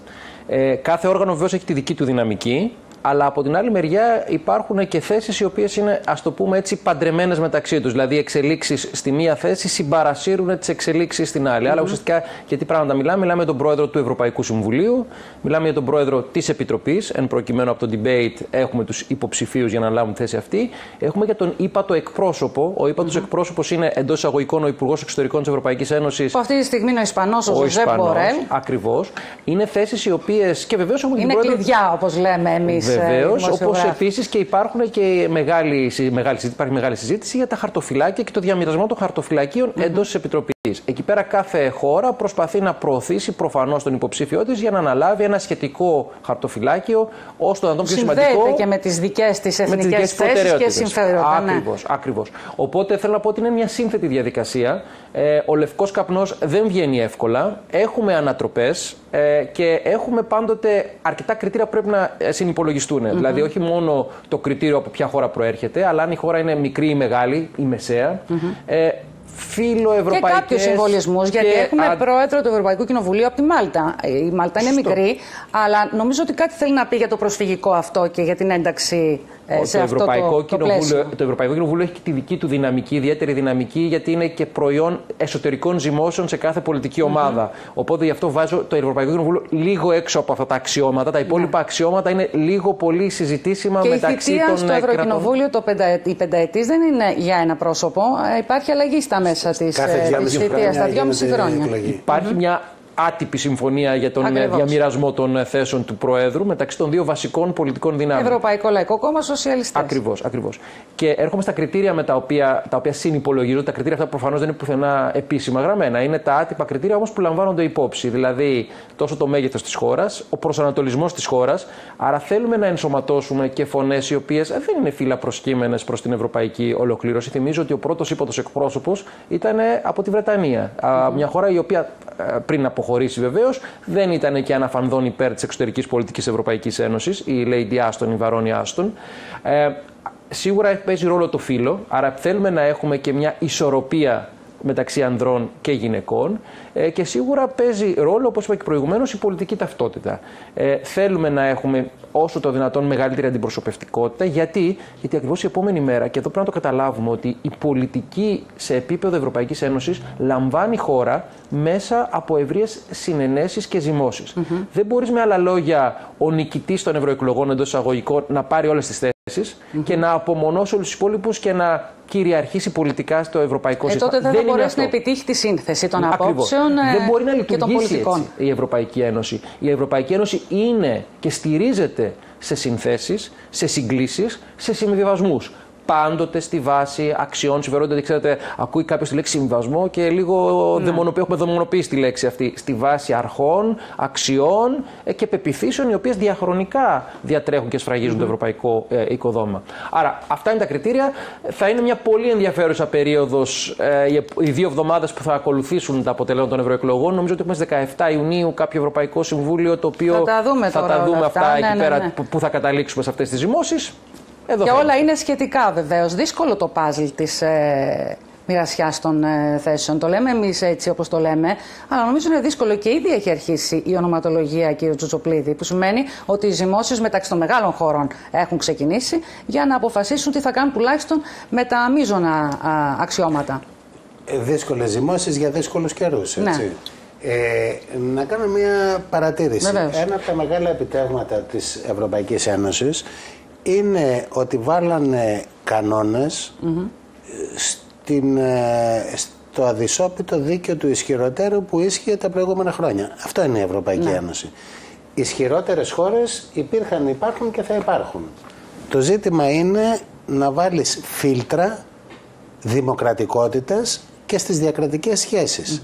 Αυτό το πέτυχε μέσα από το εγχείρημά της η Ευρωπαϊκή Γιατί θυμόμαστε Ένωση. τι πέρασε και η χώρα μας με την ε, οικονομική κρίση και πρέπει να το επισημαίνουμε αυτό. Ε, να σας πω κάτι. Ε, ένας από τους λόγους που περάσαμε αυτά που περάσαμε είναι διότι δεν υπήρχε στις συνθήκες μια διαδικασία για μια χώρα που πτωχεύει. Και αυτοσχεδιάζανε για να βρουν μια λύση. Και τελικά μεγάλο κομμάτι Επειδή όμως δεν της άγγιζε λύσης... τους ίδιους ε, αυτό Όχι. που συνέβαινε στην Ελλάδα. Επειδή γιατί δεν με την ήθελε- πανδημία που τους άγγιζε όλους φτιάξαν το Ταμείο Ανάκαμψης. Καταρχήν η ίδια η κρίση οικονομική κατέδειξε ότι πρέπει να κινηθούμε γρηγορότερα. Και αυτό το πράγμα είναι ήδη ένα κέρδος της Ευρωπαϊκής Ένωσης. Ο λόγος για τον οποίο δεν υπήρχε στις συνθήκες είναι γιατί τότε είχαν σκεφτεί ότι αν σου βγάλω και μία ε, ασφάλεια θα τρακάρεις πολύ πιο εύκολα. Ναι. Αυτή ήταν ε, στη, η σκέψη σε αυτούς που σχεδιάσανε στο Μάστριχτ. Εκ των υστέρων καταλάβαμε ότι δεν χρειάζεται να φτάσουμε στο να τρακάρουμε. Ε, πρέπει να δούμε καταρχήν αν είμαστε καλοί οδηγοί. Γι' αυτό έχουμε το Ευρωπαϊκό Εξάμεινο αυτή τη στιγμή. Δηλαδή οριμάζει μέσα από τη ζωή. Και φυσικά έβαλαν και νερό στο κρασί τους ισχυρέ χώρες και έκαναν και ένα βήμα πίσω στο θέμα της οικονομικής διακυβέρνησης και βοήθησε προς την πανδημία η ρήτρα διαφυγής και μπόρεσαν κάποιες οικονομίες να τρέξουν με άλλες Είχαν βάλει πολύ ταχύτητε. νερό στο κρατσί τους πριν φτάσουμε εμείς να πτωχεύσουμε. Οι πρώτοι που καταστρατηγήσανε τα κριτήρια του Μάστριχτ ήταν οι Γάλλοι και οι Γερμανοί. Αλλά δεν το φτάσανε στο Και αλλάξαμε τέλος. και τους κανόνες παιχνιδιού για να μ, ξεφύγουμε από αυτό το δίλημα. Θα τους τιμωρήσουμε, θα τους τραβήξουμε το αυτή ή όχι. Αλλά αυτό είναι μια άλλη ιστορία. Ακριβώς. Ναι. Λοιπόν, ε, να πούμε και κάποια στοιχεία ότι ψηφίζουν 373 εκατομμύρια ε, Ευρωπαίοι πολίτες. Έχουν δικαίωμα ψήφου. Έχουν Μακάρι να δικαίωμα ψηφίζαν ψη- όλοι. Μακάρι να ψηφίζαν, βεβαίως. Ε, 21 ευρωβουλευτές για την ε, χώρα μας, 42 υποψήφοι σε κάθε συνδυασμό, έως 4 οι σταυροί, γιατί βλέπω ότι υπάρχουν άνθρωποι οι οποίοι δεν ε, ξέρουν αυτές τις ε, Ναι, ε, βεβαίως, ε, πολύ καλά κάνετε και πληροφορίες. τα λέτε. 720 ευρωβουλευτές στο Ευρωπαϊκό Κοινοβούλιο, 27 κράτη-μέλη, 6 έως 9 Ιουνίου οι ευρωεκλογές σε όλη την Ευρωπαϊκή Ένωση, 9 στη χώρα μας, 361 η πλειοψηφία η απαραίτητη για να εκλεγεί ε, από το πρώτο κόμμα, που φαίνεται ότι θα είναι το Ευρωπαϊκό Λαϊκό Κόμμα, και να δώσουμε κάποιες ενδιαφέρουσες ημερομηνίες, γιατί υπάρχουν κάποιες ολομέλειες οι οποίες είναι ήδη προγραμματισμένες για μετά τις ευρωεκλογές. Είναι η Ολομέλεια του Στρασβούργου, 16 έως 19 Ιουλίου, όπου θα έχουμε τη συγκρότηση του Ευρωπαϊκού Κοινοβουλίου σε σώμα, την εκλογή Προέδρου Ευρωπαϊκού Κοινοβουλίου, την εκλογή, εκλογή 14 αντιπροέδρων και την εκλογή 5 κοσμητόρων. Επίσης, η Ολομέλεια του Στρασβούργου 16 και 19 έως 19 Σεπτεμβρίου του 2024, δηλαδή αμέσως μετά τις ε, διακοπές. Έχουμε την εκλογή Προέδρου Ευρωπαϊκής Επιτροπής, αναφέραμε ποια είναι η πλειοψηφία, και τη σύνθεση των ε, μόνιμων επιτροπών και των επιτροπών. Θα ακολουθήσουν βεβαίως οι ακροάσεις επιτρόπων και η εκλογή Προέδρου του Ευρωπαϊκού Συμβουλίου που θα γίνει στο τέλος. Θα δούμε λοιπόν πώς θα μοιραστούν αυτές τις θέσεις. να απευθύνουμε πρόσκληση στους πολίτες που θα παρακολουθήσουν και θα συμμετέχουν ενεργά να παρακολουθήσουν και τις ακροάσεις των επιτρόπων. Θα έλεγα Ναι, ότι είναι έχουν μια πολύ πολύ ενδιαφέρον. ωραία, Είναι ωραία ενδιαφέρουσα διαδικασία. διαδικασία. Ε, και για μένα είναι και πάρα πολύ δημοκρατικό αυτό που γίνεται. Είναι, ε, ε, πιστεύω ότι είναι Ναι. μια καινοτομία. Δεν είναι καινοτομία, γίνεται ε, πο- πολύ καιρό. Απλώς ε, να, το, πλη- να το πληροφορήσουμε, έτσι, να το επικοινωνήσουμε αυτό καλύτερα, γιατί είναι μια πολύ ενδιαφέρουσα διαδικασία να δούμε ο κάθε επίτροπος πόσο έχει να καλά πει, γνωρίζει πόσο το καλά γνωρίζει χαρτοφυλάκιο το του αντικείμενό του. και ποιες είναι οι προτεραιότητές του. Γιατί ακόμα είναι αρκετά γενικόλογο όλο αυτό το πολιτικό αφήγημα της επόμενης μέρας. Εκεί καταλαβαίνει ο κάθε επίτροπος τι έχει να αντιμετωπισει και ποιες θα είναι. και καταλαβαίνουμε και εμείς που θα κινηθεί. Επειδή σε λίγο θα περάσουμε στο debate, ποια είναι η καινοτομία, γιατί έχετε εισάγει και νέες έτσι, Κοιτάξτε, νέους είναι- τρόπους ε, έχουν- για, ε, διατύπωση των ερωτήσεων. Έχει γίνει πιο συμμετοχικό. Ε, 8 από τις 27 χώρες, τα ακροατήρια που θα παρακολουθούν στη χώρα, όπως ε, εμείς εδώ, ε, μπορούν να υποβάλουν και θα υποβάλουν μια ερώτηση. Θα υπάρξουν ερωτήσεις ε, μέσω του διαδικτύου, θα υπάρξουν ερωτήσεις ε, με μια συγκεκριμένη διαδικασία μέσα από την αίθουσα ε, και θα μπορέσουν και ο ένας να κάνει τοποθέτηση για τον άλλον υποψήφιο. Όλο αυτό ελπίζουμε ότι θα κάνει μια πιο ζωντανή συζήτηση και δεν θα είναι κάτι πολύ ε, χορο, χορογραφημένο με μεγάλη ασφάλεια για τους υποψηφιους Δηλαδή πρέπει να φανεί ποιος μπορεί και, και τι ποιος εννοεί. Δεν μπορεί. Ναι, ακριβώς. Και ποιος δεν μπορεί. Και τι εννοεί. Και τι εννοεί ακριβώς. Ε, οκτώ χώρες θα ρωτήσουν, θα θέσουν ερωτήματα ε, στους κορυφαίους υποψηφίους και μία χώρα είναι η δική μας, ε, κύριε Μπλαβούκο. Επαναλαμβάνω, το Ελιαμέπ εκπροσωπεί την ε, δική μας ε, τη χώρα. Είναι μια εκπροσώπηση με γεωγραφική θέση θα έλεγα, ώστε να, ε, υπάρχουν, να υπάρχει εκπροσώπηση από, όλε, από όλες τις περιοχές της, της Ευρώπης. Πιστεύετε ότι θα πάρετε μια ικανοποιητική απάντηση, θα αναγκαστούν να τη δώσουν αυτή την απάντηση; Θα το ήθελα, το ελπίζω. Ε, κακά τα ψέματα δεν περιμένεις από όλους να δώσουν ικανοποιητική απάντηση σε όλα τα ερωτήματα, γιατί προφανώς ο καθένας έχει καλύτερη γνώση, καλύτερη τοποθέτηση, πιο ασφαλή τοποθέτηση σε κάποια από αυτά. Και ο καθένας ικανοποιείται με άλλη απάντηση. Ε, σωστό. Σωστό και αυτό, αυτό που είπε ο κ. Τσοπλίδης. Εγώ αυτό που θα ήθελα είναι να. και αυτό ελπίζω να ακούσω, είναι να ακούσω ουσία. Να μην ακούσω ε, λόγια πολύ ωραία, αλλά μάλλον ρητορικά πυροτεχνήματα. Θέλω να ακούσω συγκεκριμένα πράγματα.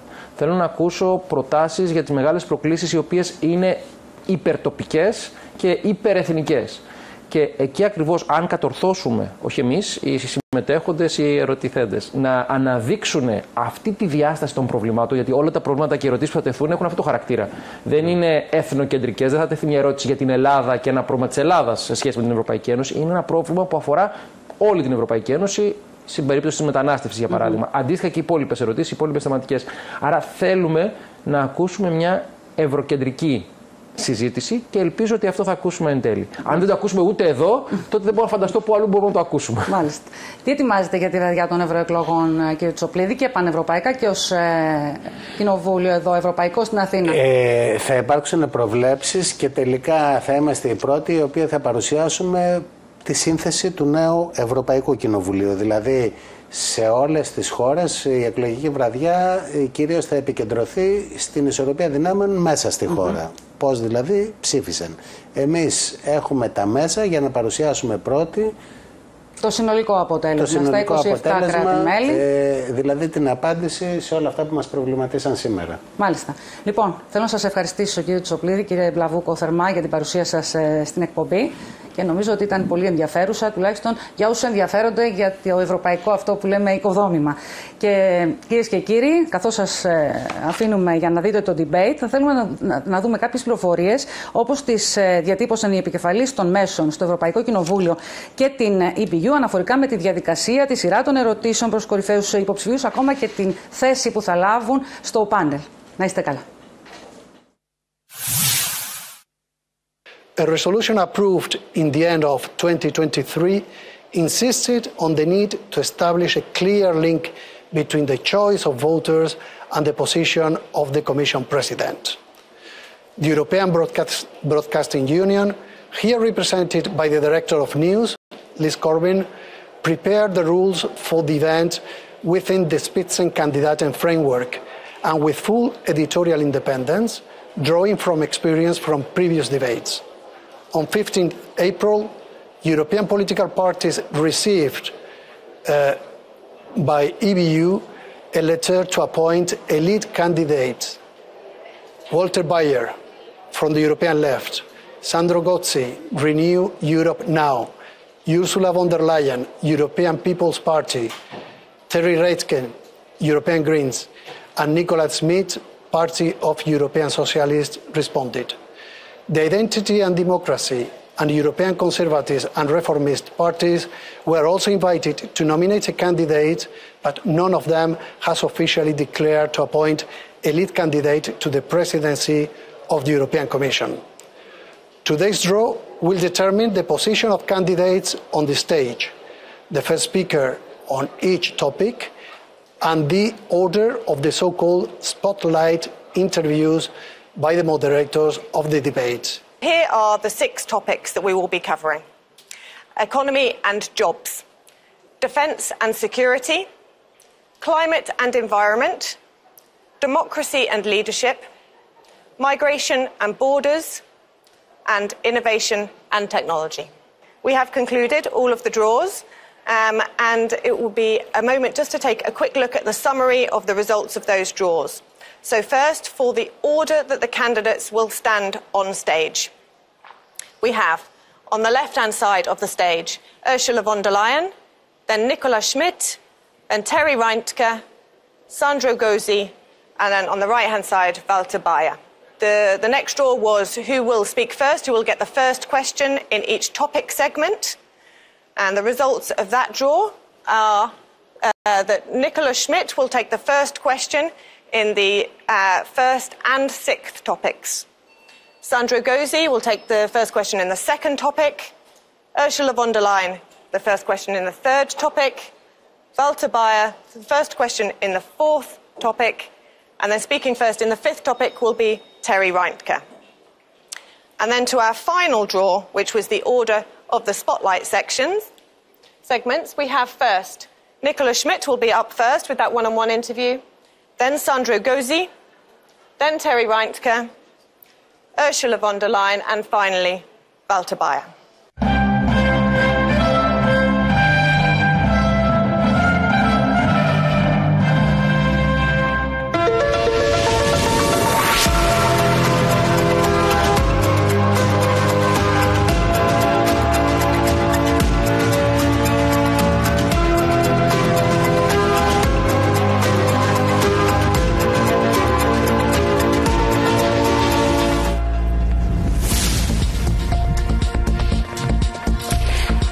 Welcome, welcome. Καλωσορίσατε. Καλωσορίσατε όλοι μαζί μας εδώ στο Ευρωπαϊκό Κοινοβούλιο στις Βρυξέλλες και εσείς που μας βλέπετε από όπου βρίσκεστε. Ε, θα δοκιμαστούν σήμερα πλήρως οι υποψήφοι για τη θέση του Προέδρου της Ευρωπαϊκής Επιτροπής που είναι από τις πιο απαιτητικές θέσεις παγκοσμίως. Η Άννα και ο Μάρτιν είμαστε. Αυτή η τηλεμαχία είναι κάτι που δεν το έχετε ξαναδεί και όπως βλέπετε δεν είμαστε μόνοι μας. Παντού στην Ευρωπαϊκή Ένωση και ε, στις Βρυξέλλες και στις υπόλοιπες 26 πρωτεύουσες έχουμε κοινό. Και εδώ πίσω μας σας βλέπουμε όλους και ελπίζουμε να ε, διασκεδάζετε, να ψυχαγωγηθείτε και θα μπορέσουν να ρωτήσουν και οι ψηφοφόροι τους υποψηφίους μας με απευθείας συνδέσεις. Εδώ έχουμε και ένα πάνελ ε, νέων που ψηφίζουν για πρώτη φορά και περιμένουν ανυπόμονα να κάνουν τις ερωτήσεις τους στους πολιτικούς. Ας δούμε λοιπόν τους πέντε υποψηφίους που συμμετέχουν στη τηλεμαχία της Eurovision το 2024. We have Walter Bayer, candidate for the left. Βάλτερ Μπάιερ από την αριστερά.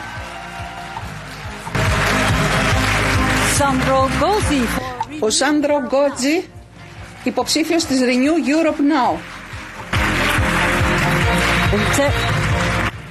Η Τέρι Ράιντκε από τους Ευρωπαίους Πρασίνους.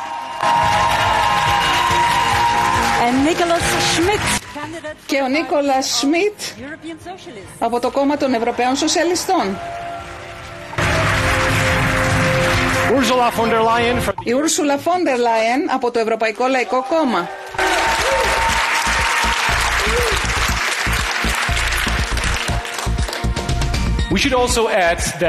Θα πρέπει να προσθέσουμε επίσης ότι δύο από τις πολιτικές ομάδες του Ευρωπαϊκού Κοινοβουλίου αμφισβητούν την αρχή του συστήματος των κορυφαίων υποψηφίων και δεν έχουν ε, παρουσιάσει επίσημη υποψηφιότητα για τη θέση του Προέδρου φέτος, οπότε και δεν εκπροσωπούνται σήμερα εδώ. Για να δούμε λοιπόν πώς θα διεξαχθεί η τηλεμαχία. Θα καλύψουμε ένα ευρύ φάσμα ε, θεμάτων που είναι σημαντικά για τις ευρωεκλογές και θα κάνουμε ερωτήσεις ε, και από τις πρωτεύουσες, αλλά και από το πάνελ των ψηφοφόρων μας που έχουμε εδώ και ψηφίζουν για πρώτη φορά. Επίσης λαμβάνουμε ερωτήσεις ε, από την EBU, από τις χώρες μέλη μέσα από τα social media. Κάθε υποψήφιος μπορεί να μιλά και να απαντήσει για 45 δευτερόλεπτα και θα έχει και τρεις κάρτες τζόκερ για να κάνει ερώτηση σε άλλον υποψήφιο. 30 δευτερόλεπτα. Και ανάμεσα σε δύο θέματα θα έρχονται εδώ κάτω από το προβολέα οι υποψήφοι για να μπορούν να απαντούν άμεσα σε εσάς και να τους κάνουμε και συνέντευξη εμείς. Ε, και δικές μας ερωτήσεις. Με κλήρο αποφασίστηκαν την περασμένη εβδομάδα οι ε, ερωτήσεις και οι η σειρά με την οποία θα γίνουν και που θα αποφασίσουν οι υποψήφοι. Πρώτο θέμα η οικονομία και οι θέσεις εργασίας. E η Ευρωπαϊκή Ένωση είναι από τις μεγαλύτερες οικονομίες παγκοσμίως, αλλά έχει πληγεί σκληρά από τον κορονοϊό και το ενεργειακό σοκ μετά από τη μαζική εισβολή της Ρωσίας στην Ουκρανία. Ταυτόχρονα οι μεγάλοι ανταγωνιστές της Ευρώπης, οι Ηνωμένες Πολιτείες και η Κίνα έχουν ενισχύσει την οικονομία τους πιο γρήγορα και την μεγέθυνσή της. Η Ευρωπαϊκή Ένωση έχει πολλές ιστορίες επιτυχίας ε, στις επιχειρήσεις, αλλά η ανεργία ε, πέφτει γενικά εδώ και μια δεκαετία, αλλά πολλοί Ευρωπαίοι ζουν στη φτώχεια, ενώ η αστεγία αυξάνεται σημαντικά σε όλη την Ευρωπαϊκή Ένωση. Λοιπόν, πάμε για την πρώτη ερώτηση. Στην πιο πρόσφατη δημοσκόπηση του Ευρωβαρόμετρου, οι δύο από τις ε, τρεις σημαντικότερες ανησυχίες των Ευρωπαίων ήταν η καταπολέμηση της φτώχειας και οι νέες θέσεις εργασίας. Τι θα κάνετε για να ανταποκριθείτε σε αυτές τις ανησυχίες; Κύριε Σμίτ, ξεκινάμε με εσάς. Θεωρώ ότι πρώτα απ' όλα όταν μιλάμε για την οικονομία και για τα κοινωνικά ζητήματα μιλάμε για τις δύο όψεις του ίδιου νομίσματος. Πρέπει να κινητοποιηθούμε. Έχουμε στόχο να μειώσουμε την φτώχεια κατά 5 εκατομμύρια και θα πρέπει ο κόσμος να έχει τις κατάλληλες ευκαιρίες. Η μείωση της φτώχειας προφανώς τους ε, βοηθάει, αλλά είναι το βασικό να έχουν ευκαιρίες εργασίας και αυτό έχει μεγάλη σημασία. Τώρα, για το άλλο ζήτημα. Είναι σημαντικό ο κόσμος να έχει δεξιότητες. Ε, οι επενδύσεις στο ανθρώπινο δυναμικό έχουν μεγάλη σημασία. Δεν μπορούν να έχουν καλύτερες θέσεις εργασίας αν δεν έχουν τις δεξιότητες και η αγορά εργασίας αλλάζει ραγδαία. Οπότε το θέμα είναι και οι δεξιότητες για την καλύτερη οικονομία και για το καλύτερο επίπεδο ζωής. ίδια ερώτηση σε εσάς, κυρία Ράιντκε. Για να είμαστε ανταγωνιστικοί στο μέλλον και οικονομικά επιτυχημένοι, θα πρέπει να σπάσει αυτή η λεγόμενη αντίφαση μεταξύ κλίματος και οικονομίας. Θα πρέπει να προωθήσουμε τις δυνατότητες που υπάρχουν στην πράσινη οικονομία. Με το πράσινο deal έχουμε κάνει ήδη τα πρώτα βήματα προς αυτήν την κατεύθυνση. Τώρα όμως θα πρέπει να υλοποιηθεί, να δημιουργήσουμε πράσινες θέσεις εργασίας, να έχουμε ισχυρότερη πράσινη βιομηχανία στην Ευρώπη. Τώρα πρέπει να επενδύσουμε και το μεγαλύτερο λάθος που μπορούμε να κάνουμε τώρα είναι να επανέλθουμε στην λιτότητα. Πρέπει να επενδύσουμε στο μέλλον μας, σε κοινές υποδομές στην Ευρώπη. Αυτό σημαίνει να στηρίξουμε τις εταιρείες μας στον πράσινο μετασχηματισμό και να δημιουργήσουμε ίσες ευκαιρίες για όλους στην αγορά εργασίας. Αυτό θα είναι καλό για το κλίμα αλλά και για τους Ευρωπαίους. Σας ευχαριστώ. Να σας πενθυμίσω σε όλους εσάς και σε όσους μας παρακολουθούν πως έχετε τρεις κάρτες που μπορείτε να σηκώσετε όταν θέλετε να μιλήσετε και η πρώτη εδώ πέρα πάει στον κύριο Μπάιερ. Παρακαλώ. Ναι. Ε, θεωρώ ότι πρέπει να είμαστε συγκεκριμένοι όταν μιλάμε για τη φτώχεια. Εμείς λέμε πως ένας από τους βασικούς λόγους για την φτώχεια είναι η αύξηση των τιμών ε, της στέγης και των ενοικίων. Θέλουμε η Ευρωπαϊκή Ένωση να εμπλακεί σε αυτό. Θέλουμε να αποφασίζει ε, η Ευρωπαϊκή Ένωση να περάσει μια οδηγία δηλαδή η οποία θα βάζει ένα πλαφόν στα ενίκια και θα απαγορεύει τις εξώσεις. Πρέπει να μιλήσουμε για τα πραγματικά προβλήματα σε αυτή τη συζήτηση. Ευχαριστώ. Σας ευχαριστώ κύριε Μπάιερ. Και προχωρούμε τώρα σε εκείνους που μας παρακολουθούν εκτός του κτηρίου, όπως είπαμε από την αρχή, έχουμε πολίτες από όλη την Ευρωπαϊκή Ένωση που μας παρακολουθούν και κάποιοι θα κάνουν και ερωτήσεις και μάλιστα άμεσα στους υποψηφίους. Ας πάμε πρώτα στη Γαλλία, στους συναδέλφους στο Παρίσι. Έχετε το λόγο αγαπητοί συνάδελφοι. Γεια σας. Μπεν Πανιέ λέγομαι. Είμαι από την γαλλική δημόσια τηλεόραση και είμαστε στο Europa Experience στο Παρίσι. Στη Γαλλία ε, το κόμμα του κυρίου Μακρόν είναι δεύτερο, είναι πολύ πιο πίσω στις δημοσκοπήσεις ε, από ότι το κόμμα της κυρίας Λεπέν. Ο κόσμος ε, νιώθει οργή ε, δεν αυξάνονται οι μισθοί, αυξάνεται το ενεργειακό κόστος σε μια χώρα που έχει πυρηνικά εργοστάσια. Και εδώ έχω τον κύριο Κατλέν δίπλα μου, είναι 24 ετών, έχει σπουδάσει business στη Χάβριζη, στην Ορμανδία. Καλημέρα σας. Χαίρομαι πολύ που βρίσκομαι εδώ και ρωτώ τι αντίκτυπο πιστεύετε ότι θα έχει η διεύρυνση στην οικονομία της Ευρώπης; Και πιστεύετε ότι η ενταξιακή διαδικασία τώρα για νέα μέλη θα πρέπει να επιταχυνθεί ή να επιβραδυνθεί; Σας ευχαριστώ. Ε, δίνω την ερώτησή σας για να απαντήσουν στους υποψηφίους. Κύριε Γκότζη, πώς θα επηρεάσει η διεύρυνση την οικονομία της Ευρώπης και αν θα πρέπει να επιταχυνθεί ή να επιβραδυνθεί η διεύρυνση. Κοιτάξτε, δεν αποφασίζουμε εμείς. Η ιστορία αποφασίζει. Και μας θυμίζει ότι το ευρωπαϊκό εγχείρημα είναι ένα οικοδόμημα που αφορά ε, τους πάντες στην Ευρώπη, όχι κάποιους λίγους τυχερούς. Στην αρχή ήμασταν έξι, γιατί είμαστε μοναδικές δημοκρατίες που είχαν κάνει αυτή την επιλογή.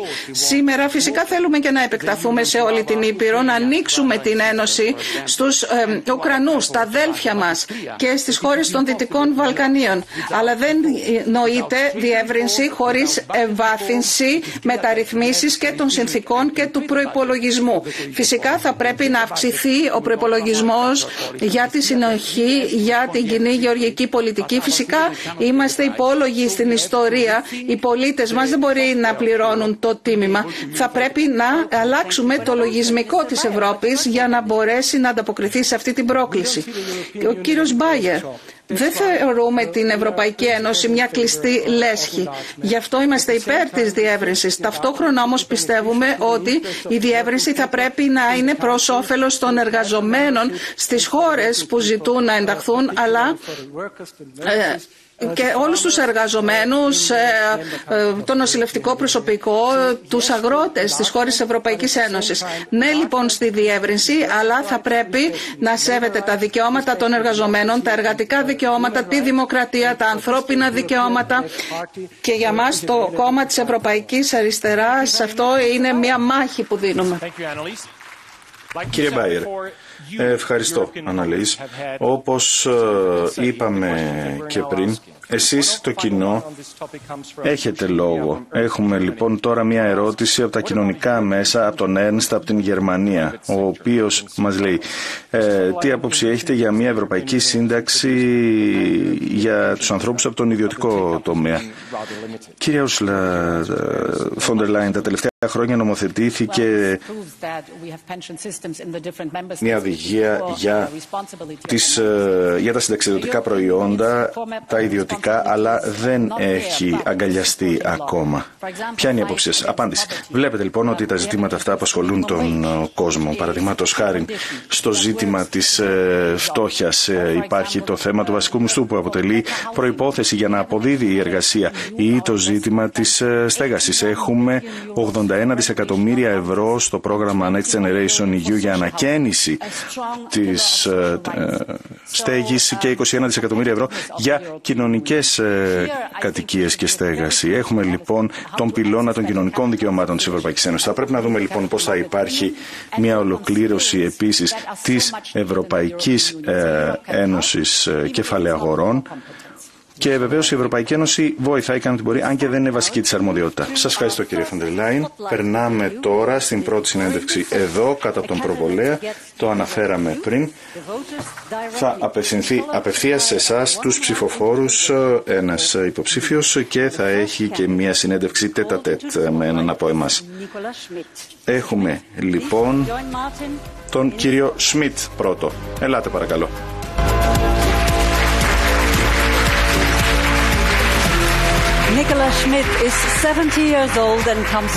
Ο κύριος Σμιτ είναι 70 ετών από το Λουξεμβούργο, μιλά πέντε γλώσσες μεταξύ των οποίων και τα Λουξεμβουριανά. Ο Νίκο, όπως λέγεται, ήταν 17 ετών όταν για πρώτη φορά εντάχθηκε στο Σοσιαλιστικό Εργατικό Κόμμα. Μέχρι στιγμής ε, έχει παραστήσει 60 εκδηλώσεις σε ολόκληρη την Ευρώπη, προεκλογικές και η αγαπημένη του ρίση είναι μια ρίση του Ζακ Ντελόρ.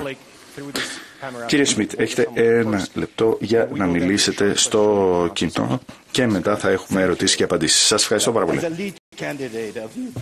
Ως επικεφαλής υποψήφιος των Ευρωπαίων Σοσιαλιστών και Δημοκρατών, προφανώς αυτό το οποίο με κινητοποιεί είναι το να βελτιωθούν οι συνθήκες ζωής, η καθημερινή ζωή των Ευρωπαίων πολιτών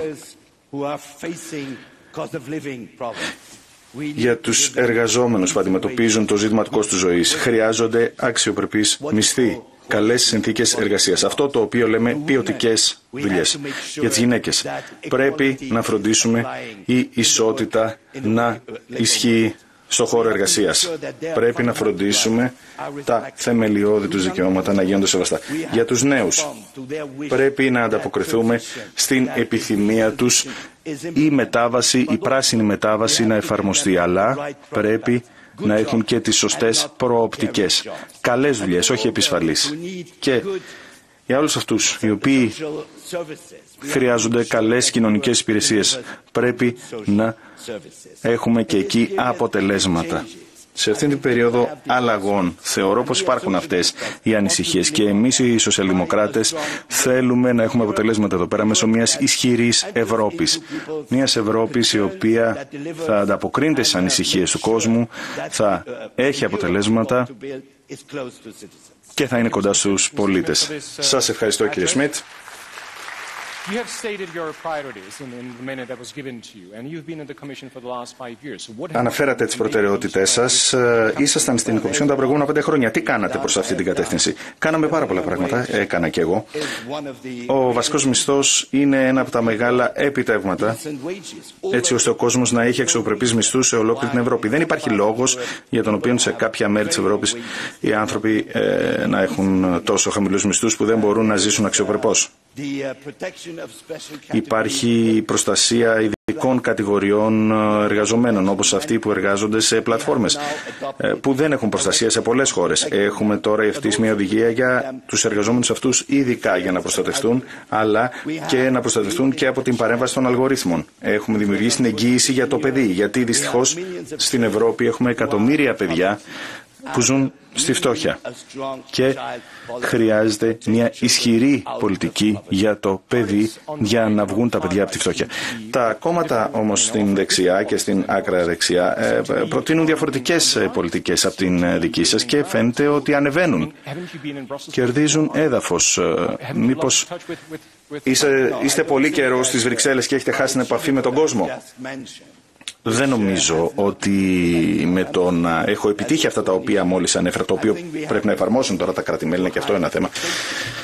Πρέπει επίσης να ανταποκριθούμε και στις υψηλές προσδοκίες των πολιτών. Μην ξεχνάμε, οι πολίτες, οι Ευρωπαίοι πολίτες βγαίνουν από διαφορετικές κρίσεις. Είχαμε την οικονομική κρίση, είχαμε την κρίση του COVID, είχαμε τον πόλεμο της Ρωσίας.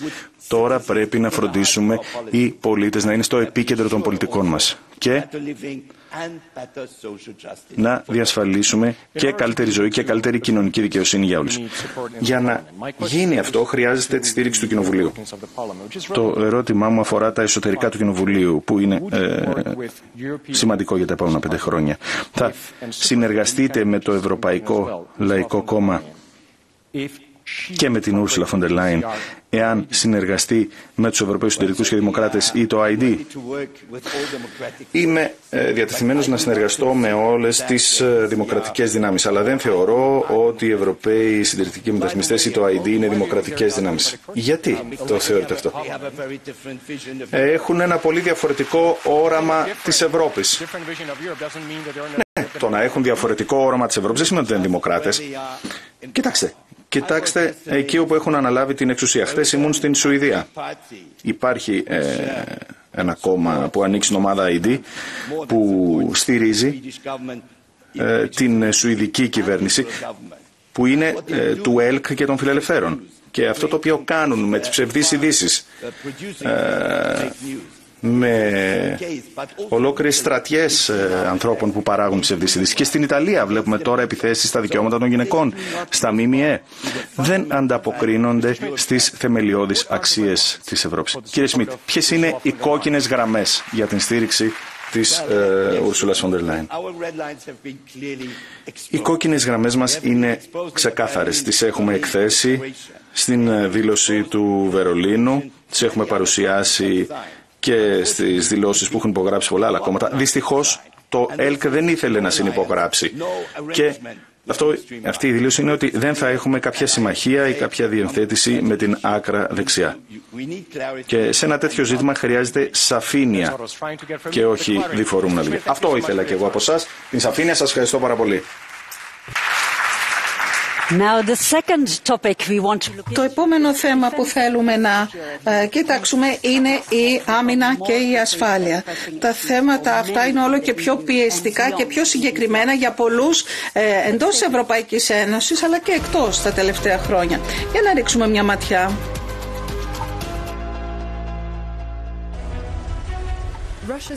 Η ρωσική εισβολή στην Ουκρανία το 2022 ξανάφερε τον πόλεμο σε ευρωπαϊκό έδαφος. Η πολιτική στήριξη της Ευρωπαϊκής Ένωσης προς την Ουκρανία γενικά ήταν πολύ ε, ισχυρή με τις εκατομμύρια ευρώ που δόθηκαν σε βοήθεια και άλλα ως υποσχέσεις. Αλλά ενωμένεται ακόμα ο πόλεμος, δοκιμάζεται η αποφασιστικότητα εκείνων που ζητούν να επικρατήσει πλήρως η Ουκρανία. Επίσης υπάρχει ανησυχία πιο κοντά μας για τρομοκρατικές επιθέσεις και για τους Ολυμπιακούς Αγώνες στη Γαλλία αλλά και για το Ευρωπαϊκό Πρωτάθλημα Ποδοσφαίρου στη Γερμανία. Ένα τρίτο περίπου των Ευρωπαίων θεωρούν πλέον την ασφάλεια και την άμυνα προτεραιότητα των θεμάτων αυτών των εκλογών. Ασφάλεια και άμυνα. Είναι κάτι που απασχολεί ε, τον κόσμο από τη Μαδρίτη στο Όσλο και από τις Βρυξέλλες μέχρι και το Βίλνιους. Και εκεί θα πάμε τώρα στο Βίλνιους για την πρώτη μας ερώτηση για την άμυνα και ε, την ασφάλεια. Λιθουανία. Έχετε το λόγο. Γεια σας από το Βίλνιους. Λέγομαι Πιτσουκάητης. Είμαι από τη Λιθουανική ραδιοτηλεόραση, δημοσιογράφος. Οι ψηφοφόροι παρακολουθούν με μεγάλο ενδιαφέρον την τηλεμαχία και πολλοί νέοι. Έχουμε εδώ τον Μίκολας. Γεια σας. Καλημέρα Βρυξέλλες. Ε, είναι τελειόφυτος ε, του Λυκείου και θα ψηφίσει για πρώτη φορά. Ερώτηση. Πώς μπορεί η Ευρωπαϊκή Ένωση να ενισχύσει τη συνεργασία στον τομέα της άμυνας, ε, να συνενώνονται τα αμυντικά σχέδια των κρατών μελών και να ολοκληρώνεται περισσότερο η αμυντική ε, αγορά; Πολύ σαφής ερώτηση. Ε, Ποιος απαντήσει, ο Σάντρο Γκότσι. Το 1 τρίτο των πολιτών στην Ευρώπη έχουν δίκιο. Γιατί η βάναυση βία ε, και η ομή βία και η επίθεση έχουν επιστρέψει στην Ευρώπη. Και πρέπει να κερδίσουμε στην Ουκρανία γιατί ο Πούτιν δεν θα σταματήσει στο Κίεβο. Και αυτό θα πρέπει, ε, όπως είπε και ο φίλος από το Βίλνιους, θα πρέπει να είμαστε ισχυροί. Γιατί είτε είσαι ισχυρός και κάθεσαι στο τραπέζι και αποφασίζεις, ή στο μενού αυτών που θα αποφασίσουν να φάνε η Ουάσιγκτον και το Πεκίνο. Άρα λοιπόν θα πρέπει να επενδύσουμε στην ευρωπαϊκή αμυντική βιομηχανία. Γι' αυτό ζητούμε ένα σχέδιο 100 δισεκατομμυρίων ευρώ για να ενισχυθεί η άμυνα με ομόλογα, ευρωομόλογα. Ε, συμφωνούν ε, πολλοί, ο Μακρόν, η Κάλλας ε, και η Ευρωπαϊκή Επιτροπή. Αλλά φυσικά δεν νοείται περισσότερη ασφάλεια χωρίς παιδεία και πολιτισμό. Για κάθε ευρώ που δαπανάτε στην άμυνα θα πρέπει να υπάρχει και ένα δεύτερο ευρώ που θα δαπανάτε για την παιδεία και για τον πολιτισμό. Ευχαριστώ πολύ. Την ίδια ερώτηση και σε εσάς κυρία Ράιντκε. Πώς μπορεί η Ευρωπαϊκή Ένωση να ενισχύσει τη στενότερη συνεργασία στην άμυνα. Μακάρι να μπορούσα να πω ότι αυτό δεν είναι κυρίαρχο θέμα. Μακάρι να μην είχαμε πόλεμο και έναν εισβολέα που λέγεται Βραδίμηρος Πούτιν. Αν θα συνεργαστούμε στην ασφάλεια και την άμυνα, φυσικά είναι βασικό ερώτημα αυτό για τους πολίτες και πρέπει και για τις ε, προμήθειες αμυντικού υλικού και για την άμυνα και για την έρευνα και ανάπτυξη το θέμα δεν είναι ε, μόνο αν αμυνόμαστε, αλλά εάν ε, δαπανούμε τα χρήματα των φορολογουμένων έτσι ώστε να πιάνουν τόπο. Ε, σήμερα είναι εθνικά τα αμυντικά προγράμματα. Θα πρέπει να έχουμε ένα Ευρωπαϊκό Ταμείο για την Άμυνα, κοινές προσπάθειες και συνεργασίες. Και δεν μπορούμε απλώς να δαπανούμε από κοινού μόνο. Θα πρέπει να σταματήσει η ομοφωνία στο Συμβούλιο, να μην έχει βέτο για θέματα ασφάλειας και άμυνας και εξωτερικής πολιτικής ένας κύριος τύπου Βίκτορ Ορμπάν. Θέλω να σας θυμίσω γρήγορα ότι έχετε και τις τρεις κάρτες. Έχετε τρεις ακόμα ε, όλοι εκτός από τον κύριο Μπάιερ που έχει χρησιμοποιήσει την πρώτη. Φυσικά όποτε θέλετε τις χρησιμοποιείτε. Σε κάποιες χώρες της Ένωσης ψηφίζουν 16χρονοι και 17χρονοι για πρώτη φορά στις ευρωεκλογές. Ορισμένοι από τους ψηφοφόρους αυτούς είναι εδώ μαζί μας, στο κοινό, στις Βρυξέλλες, στο ημικύκλιο. Η Μάγια και ο Όλαφ από την Πολωνία. Έχουν μεγάλη συμμετοχή και στα μέσα κοινωνικής δικτύωσης. Έχετε το λόγο. Η Μάγια και η Όλα, συγγνώμη. Ευχαριστώ πάρα πολύ. Από το 2022 η Ευρώπη έχει στείλει βοήθεια στην Ουκρανία αξίας δεκάδων δισεκατομμυρίων, δεκάδων δισεκατομμυρίων ευρώ και ως υλικό πολέμου και με άλλη μορφή. Ταυτόχρονα τα κράτη-μέλη έχουν επίσης αυξήσει τις δικές τους αμυντικές δαπάνες. Οπότε, η ερώτησή μας είναι η εξής. Θα πρέπει η προτεραιότητα της Ευρώπης να παραμένει η εκπαίδευση των στρατιωτών και τα πυρομαχικά για την Ουκρανία ή είναι τώρα η στιγμή η Ευρωπαϊκή Ένωση να εστιάσει στο να εξοπλίσει τα δικά της κράτη-μέλη; Σαφής η ερώτηση, σας ευχαριστούμε πάρα πολύ και απευθύνεται στον κύριο Σμιτ. Παρακαλώ. Ξέρετε, συμφωνώ με την άποψη πως θα προτιμούσα να μην επενδύσουμε τόσα πολλά λεφτά στην ε, άμυνα ή στην βοήθεια στην Ουκρανία. Δεν επιλέξαμε εμείς τον πόλεμο, δεν επιλέξαμε εμείς τις απειλές που εκπορεύονται από την ε, Ρωσία και το φασιστικό καθεστώς ε, της Μόσχας. Είναι απολύτως σημαντικό για την ασφάλειά μας να έχουμε ελευθερία, να προστατεύσουμε τις αξίες μας και να επενδύσουμε στην άμυνα. Αλλά αυτό δεν σημαίνει ότι δεν πρέπει να επενδύσουμε στην κοινωνική συνοχή, γιατί η ασφάλεια είναι προφανώς ζήτημα άμυνας ε, του στρατού, αλλά αφορά και την εσωτερική συνοχή. Αυτά πάνε μαζί. Πρέπει λοιπόν να μπορέσουμε να τα κάνουμε και τα δύο. Σας ευχαριστώ κύριε Σμιτ. Η ίδια ερώτηση. Ε, εξοπλισμός Ουκρανίας ή εξοπλισμός συμμετών μελών προς ε, την κυρία Φόντερ Λάιν. Ναι, δεν είναι είτε είτε. Και τα δύο χρειαζόμαστε γιατί πρέπει να βελτιώσουμε την αμυντική μας βιομηχανία. Ο κατακαιρματισμός ο οποίος υπάρχει στην Ευρωπαϊκή Ένωση να σταματήσει. Να έχουμε κοινά ευρωπαϊκά έργα. Παραδείγματος χάρη, ε, μια ασπίδα αεράμινας για ολόκληρη την Ευρώπη, όπως πρότεινε ο κύριος Μητσοτάκης ως ένα έργο στο οποίο όλοι οι Ευρωπαίοι είπαν ναι θα πρέπει να το κάνουμε γιατί προστατεύει ολόκληρη την Ευρώπη. Αλλά βεβαίως πρώτα απ' όλα πρέπει να σταθούμε στο πλευρό της Ουκρανίας.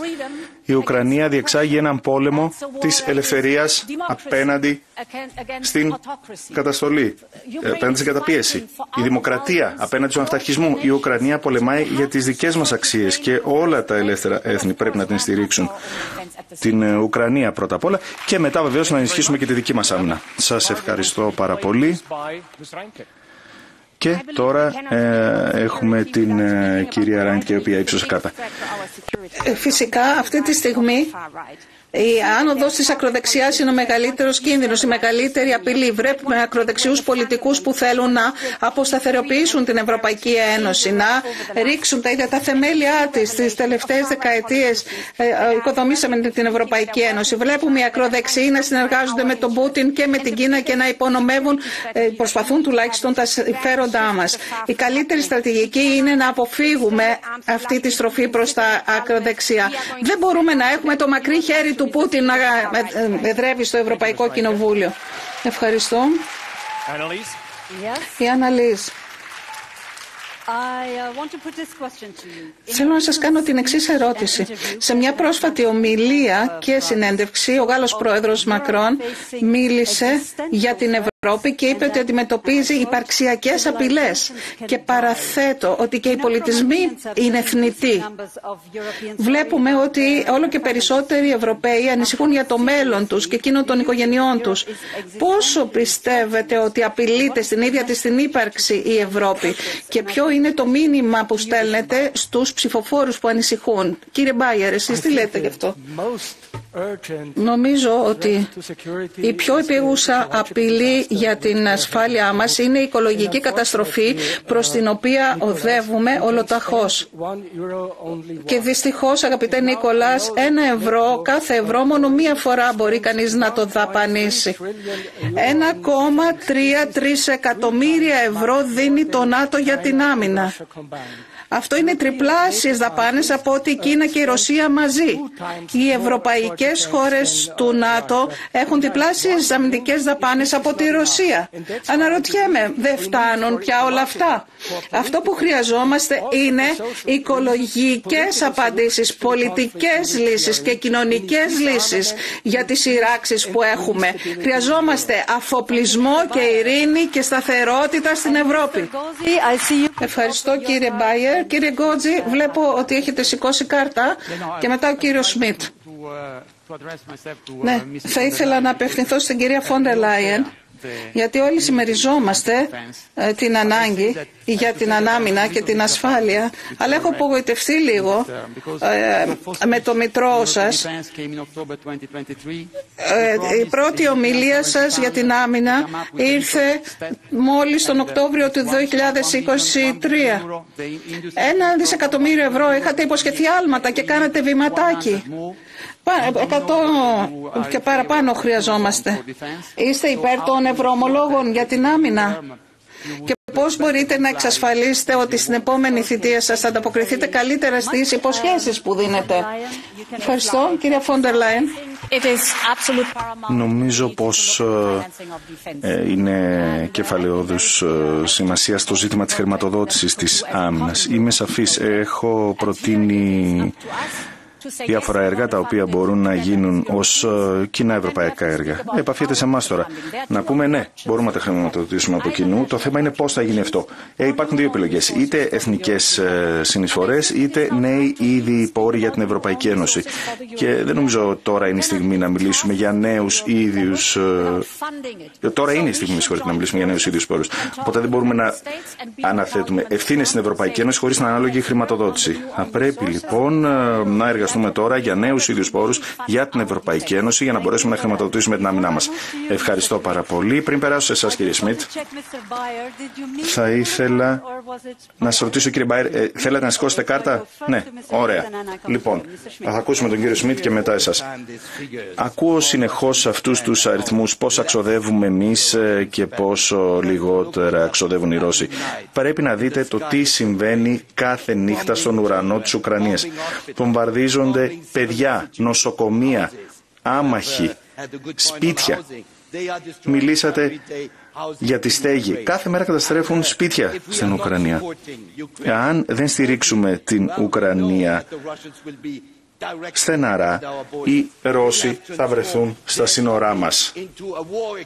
Αυτοί έχουν μετατρέψει την οικονομία τους σε πολεμική οικονομία. Τα πάντα πάνε στην άμυνα. Ναι, όλοι θα θέλαμε να έχουμε ειρήνη, αλλά με ποιους όρους; Με τους όρους του Πούτιν που θα λέει τα δικά μου, δικά μου και τα δικά σας είναι διαπραγματεύσιμα. Δεν γίνεται αυτό το πράγμα και δεν μπορούμε να δεχτούμε κάτι τέτοιο. Σας ευχαριστώ κύριε Σμιτ. Κύριε Μπάιερ,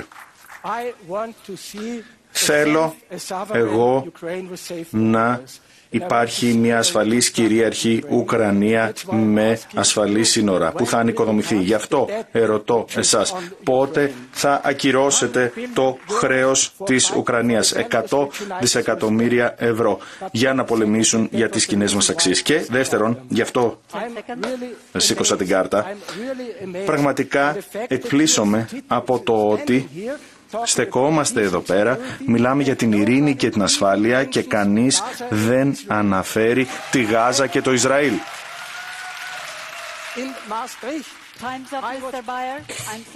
Ε, τελείωσε ο χρόνος σας κύριε Μπάιρ.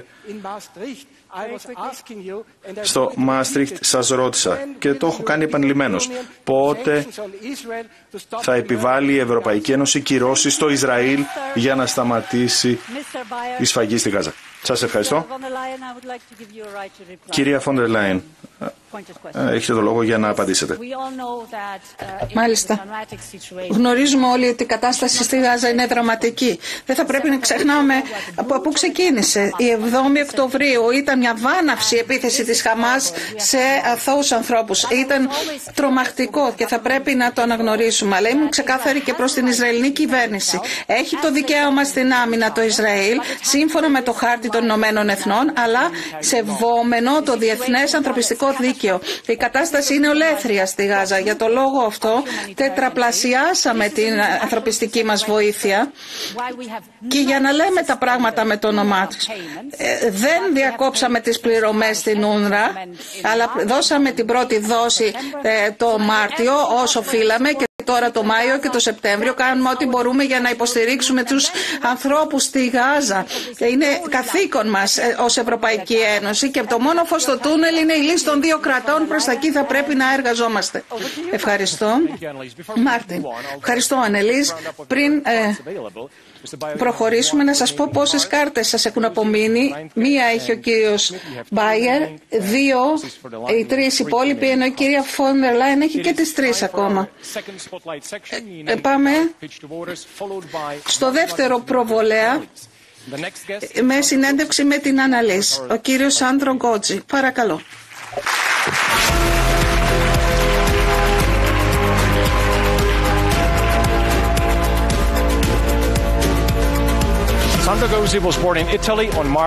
Ο Σάντρο Γκότσι γεννήθηκε στην Ιταλία 25 Μαρτίου του 1968, ζει στη Γαλλία τώρα, μιλάει πέντε γλώσσες και άρχισε την πολιτική του καριέρα 37 ετών, συνεργάτης ε, του Ρωμάνου Πρόντι, Προέδρου της Ευρωπαϊκής Επιτροπής.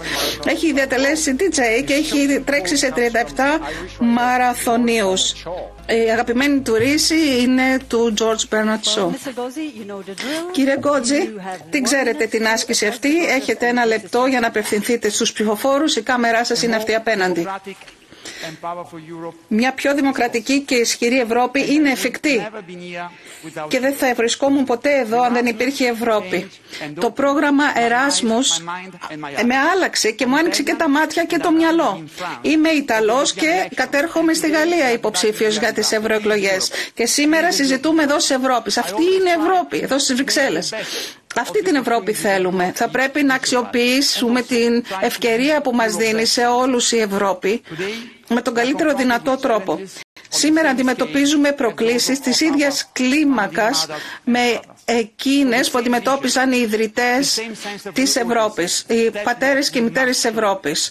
Θα πρέπει να δείξουμε ε, την ίδια προθυμία, τον ίδιο ζήλο θα μας κρίνουν οι επόμενες γενιές. Ας μην χάσουμε αυτή την ευκαιρία. Τώρα είναι η ώρα και ευκαιρία για μας. Γι' αυτό αγωνίζομαι για μια Ευρώπη που θα πολλαπλασιάζει τις ευκαιρίες. Μια Ευρώπη των συγκεκριμένων λύσεων. Μια πιο δημοκρατική Ευρώπη. Και γι' αυτό θα πρέπει να ανανεώσουμε την Ευρώπη τώρα. Renew Europe Now, που είναι ο συνδυασμός. Ευχαριστώ πολύ κύριε Γκότζη. Πολύ πάθος ακούμε από τις δηλώσεις σας ε, για την Ευρώπη και τώρα και προηγουμένως. Το Renew Europe Now είναι ένας φεντεραλιστικός συνδυασμός που φαίνεται έχει χάσει κάπως την έγκλη και το γόητρό του. Γιατί το λέτε αυτό, εγώ δεν το βλέπω. Ε, το βλέπουν οι δημοσκοπήσεις όμως. Μα είπατε ότι έχω τρέξει σε 37 μαραθωνίους. Αν κάποιος θεωρεί ότι ε, δεν, τρέχω στο μαραθώνιο γιατί θα κουραστώ στο τέλος, δεν θα ξεκινήσει ποτέ. Είναι ενδιαφέρουσα ερώτηση και οι δημοσκοπήσεις για σας, για τους δημοσιογράφους, δεν μετράνε αυτά. Αυτό που μετράει είναι η κάλπη στις 9 Ιουνίου. Όντως, μόνο ε, οι εκλογές μετράνε, αλλά πολλά κόμματα υπάρχουν στην Ευρώπη που έχουν άλλη εικόνα για την Ευρώπη και άλλες προτάσεις και προσελκύουν περισσότερο τον κόσμο. Μα γι' αυτό εγώ αγωνίζομαι εναντίον αυτών των κομμάτων και δεν μπορώ να καταλάβω πώς το Ευρωπαϊκό Λαϊκό Κόμμα και η κυρία Ούρσουαλα Φόντερ Λάιεν είναι πρόθυμοι να κάνουν ανοίγματα προς την Τζόρτζια Μελώνη, τον Ερικ Ζεμούρ στη Γαλλία ή το Βόξ στην Ισπανία. Οι άνθρωποι αυτοί είναι κατά της Ευρώπης, θέλουν να διαλύσουν από μέσα. Είναι δυνατόν να κάνουμε ανοίγματα; Θα πρέπει να τους αποκρούουμε και να τους αντιπαλεύουμε και εδώ. Και το ID και το ECR. Ταυτότητα και δημοκρατία, Ευρωπαίοι συντηρητικοί και μεταρρυθμιστές είναι οι δύο ομάδες. Ναι, αλλά ε, μήπως έχουμε, έχετε κι εσείς ευθύνη και το δικό σας κόμμα, μήπως ε, πηγαίνει πολύ γρήγορα η Ευρώπη σε εξελίξεις. Εμείς ε, ιδρύσαμε μια νέα πολιτική συμμαχία και πολιτική ομάδα που λέγεται ε, Renew Europe με φιλελευθέρους και με άλλους ε, και ε, με τον πρόεδρο Μακρόν, ο οποίος μόλις το 2017 ανέλαβε πρόεδρος Γαλλικής Δημοκρατίας. Με τον Κίφερ Χόφστατ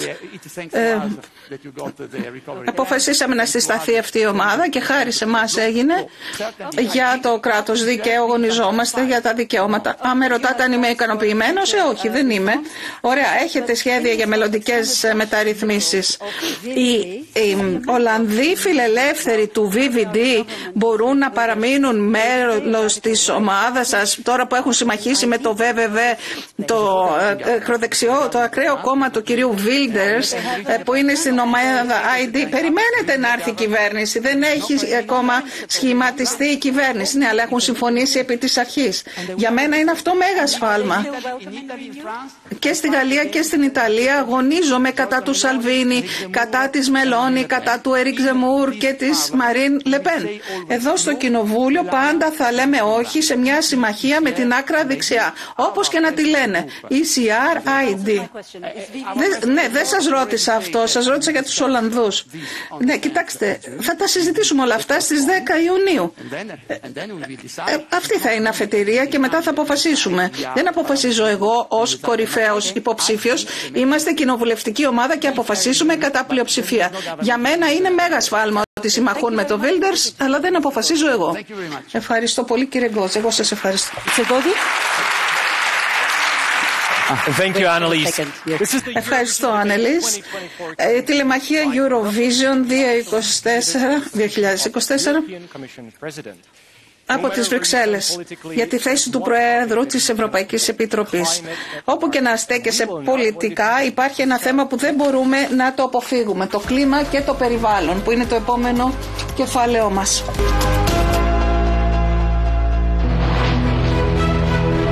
With recent deadly floods and wildfires, Europe η Ευρώπη με τις τελευταίες ε, φωνικές πυρκαγιές και πλημμύρες γνώρισε τον αντίκτυπο της κλιματικής αλλαγής. Η αντίρρηση της Ευρωπαϊκής Ένωσης είναι το πράσινο deal, ένας οδικός χάρτης μέτρων για να διασφαλιστεί κλιματική ουδετερότητα μέχρι το 2050. Σε ολόκληρη την Ευρώπη βλέπουμε τα σημάδια της μετάβασης προς τις ανανεώσιμες πηγές ενέργειας.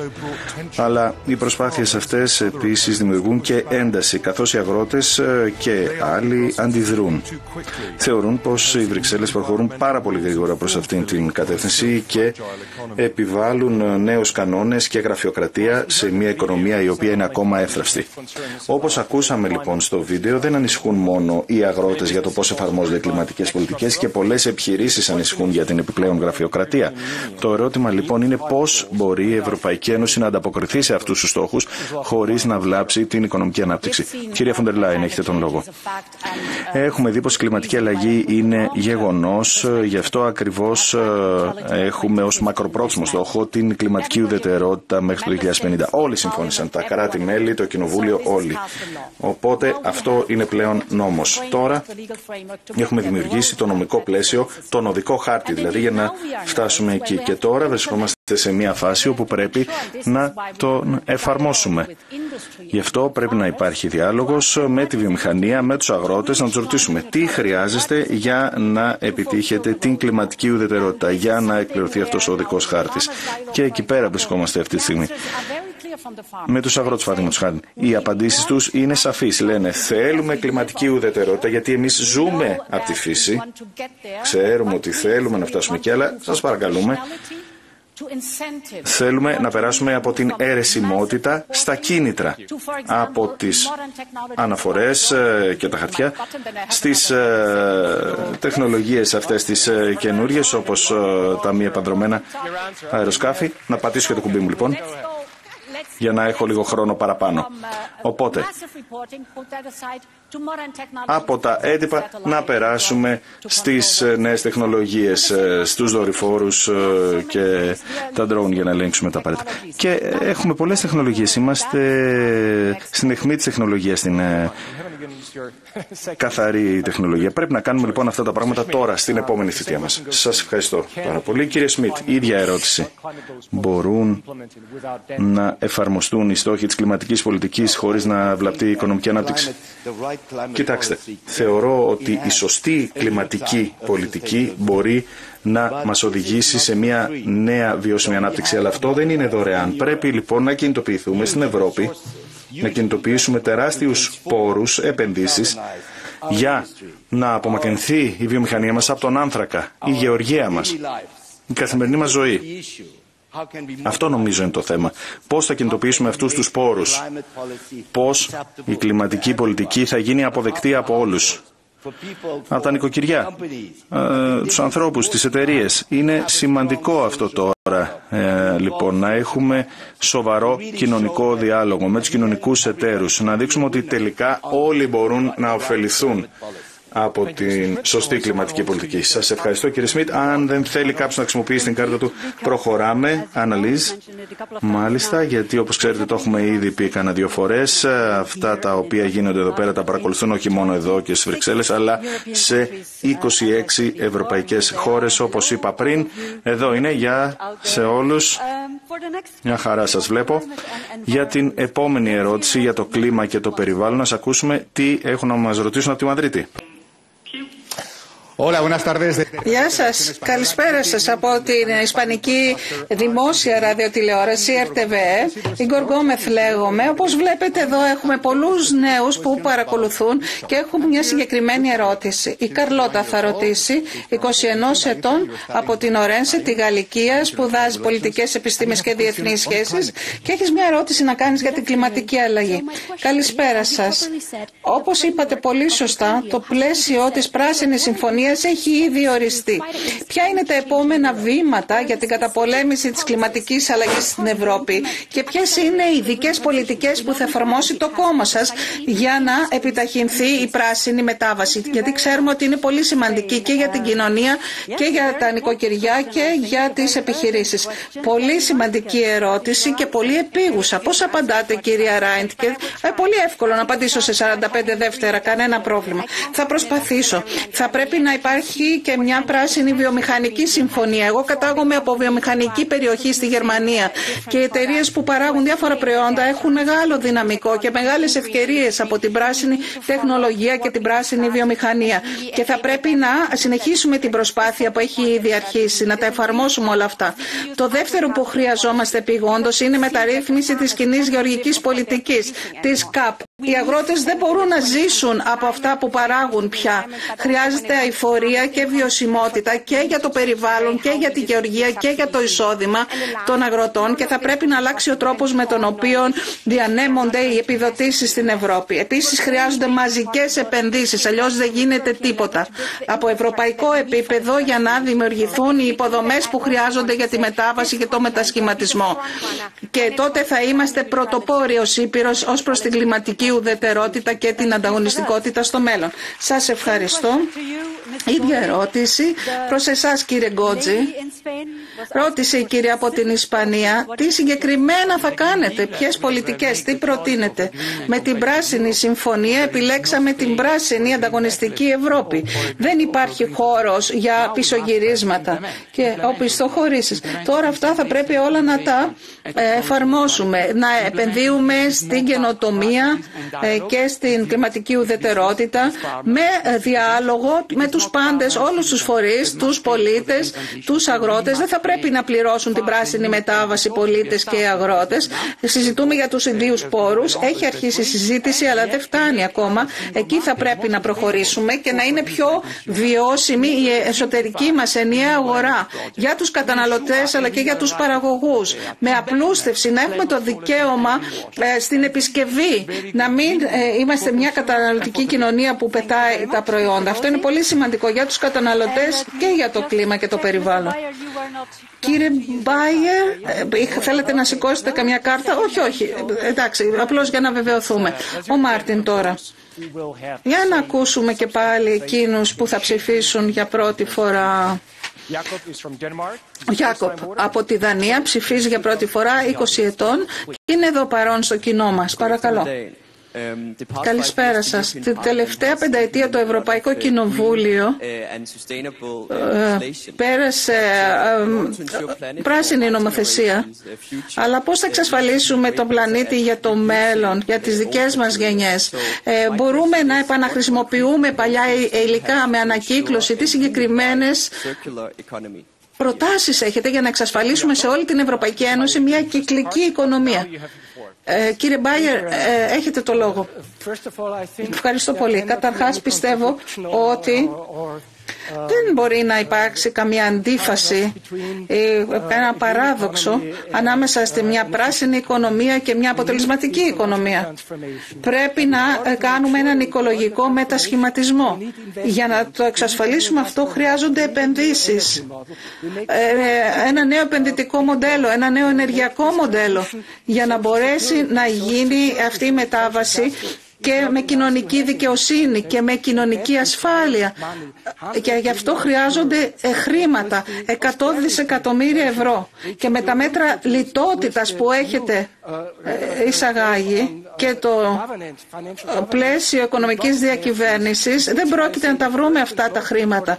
Γι' αυτό το σημαντικότερο για μένα είναι και το πρώτο που πρέπει να γίνει να καταργηθεί η λιτότητα και να αφήσουμε χώρο για τις επενδύσεις έτσι ώστε να πετύχει η οικολογική μετάβαση. Σας ευχαριστώ. Έχουμε δύο κάρτες. Η κυρία Ράιντ και ήταν πρώτη. Σας ευχαριστώ. Θέλω να απαντήσω στην ερώτηση γιατί είναι φανταστική. Αν δούμε την Πράσινη Συμφωνία, δεν μπορούμε να σταματήσουμε στο να πούμε ότι θα γίνουμε κλιματικά ουδέτεροι. Πρέπει να φτιάξουμε και μια κυκλική οικονομία. Γιατί δεν μπορούμε να επαναλάβουμε την εξάρτηση που είχαμε από την Ρωσία με εξάρτηση από άλλα αυταρχικά καθεστώτα. Οπότε, πώς θα ανακυκλώσουμε καλύτερα τους πόρους θα πρέπει να είναι ένα βασικό ζήτημα των επιχειρήσεων και της οικονομίας στην Ευρώπη. Οπότε για εμένα ένας τρόπος είναι να επεκταθεί το σύστημα εμπορίας εκπομπών και σε ζητήματα χρήσης πόρων. Η Ευρώπη έχει δείξει πως είναι δυνατόν αυτό για τις εκπομπές και θα πρέπει να είναι δυνατόν και για τους πόρους. Ευχαριστώ. Ευχαριστώ πάρα πολύ.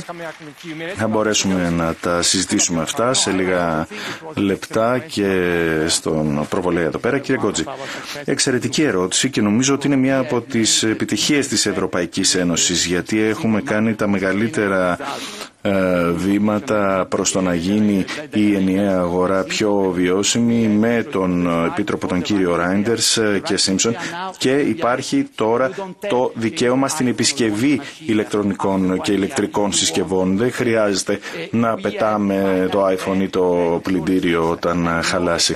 Υπάρχει δικαίωμα στην επισκευή και υπάρχει ακριβώς και αυτό το οποίο κάνουν οι εταιρείες όπου είναι προγραμματισμένες οι συσκευές να είναι παροχημένες μετά από λίγο καιρό. Και αυτό είναι μια μεγάλη αδικία. Έτσι μπορούμε λοιπόν να προσαρμοστούμε στην ε, ενιαία αγορά ε, για τις ανάγκες που θα αντιμετωπίσουμε στο μέλλον. Η κυρία Φοντερ Λάιν, σας ευχαριστώ. Χαίρομαι για αυτήν την συζήτηση Κύριε Γκότζη, αν θέλετε να γίνετε πρόεδρος της Επιτροπής, δεν πρέπει να διαχωρίζετε συγκεκριμένους επιτρόπους. Το κάναμε όλοι μαζί. Πέρσι, για πρώτη φορά, είχαμε μεγαλύτερη παραγωγή ηλεκτρισμού από αιωλικά από ότι με το φυσικό αέριο. Λοιπόν, έχουμε επιτυχίες. Αυτή η, το πράσινο deal είναι μια στρατηγική ανάπτυξης. Οι εκπομπές έχουν πέσει κατά 32% ενώ η οικονομία το ίδιο διάστημα αυξήθηκε κατά 67%.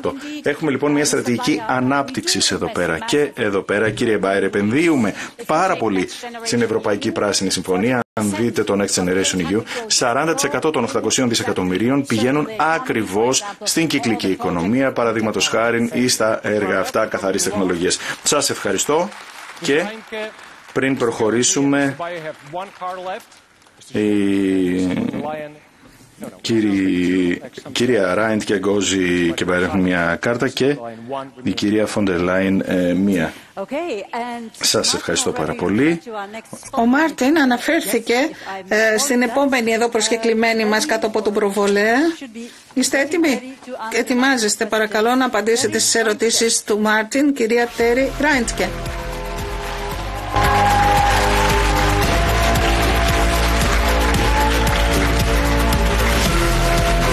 Life. Good. Τέρι Ράιντκε είναι 37 ετών, μεγάλωσε στο Γκέλζενκερχεν στη Γερμανία και τώρα ζει στις Βρυξέλλες.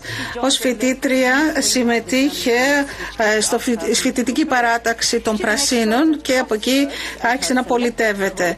Ε, είναι ειδική ε, στα Σταυρόλεξα και η αγαπημένη της ρίση είναι από τον τραγουδιστή και μουσικό Herbert Grönemeyer από τη Γερμανία. Λοιπόν, ξέρετε το σύστημα, ένα λεπτό και μετά ερωτήσεις και απαντήσεις. Αγαπητοί συνευρωπαίοι, οι ευρωεκλογές ε, θα είναι κρίσιμες για το μέλλον αυτής της όμορφης Υπήρου.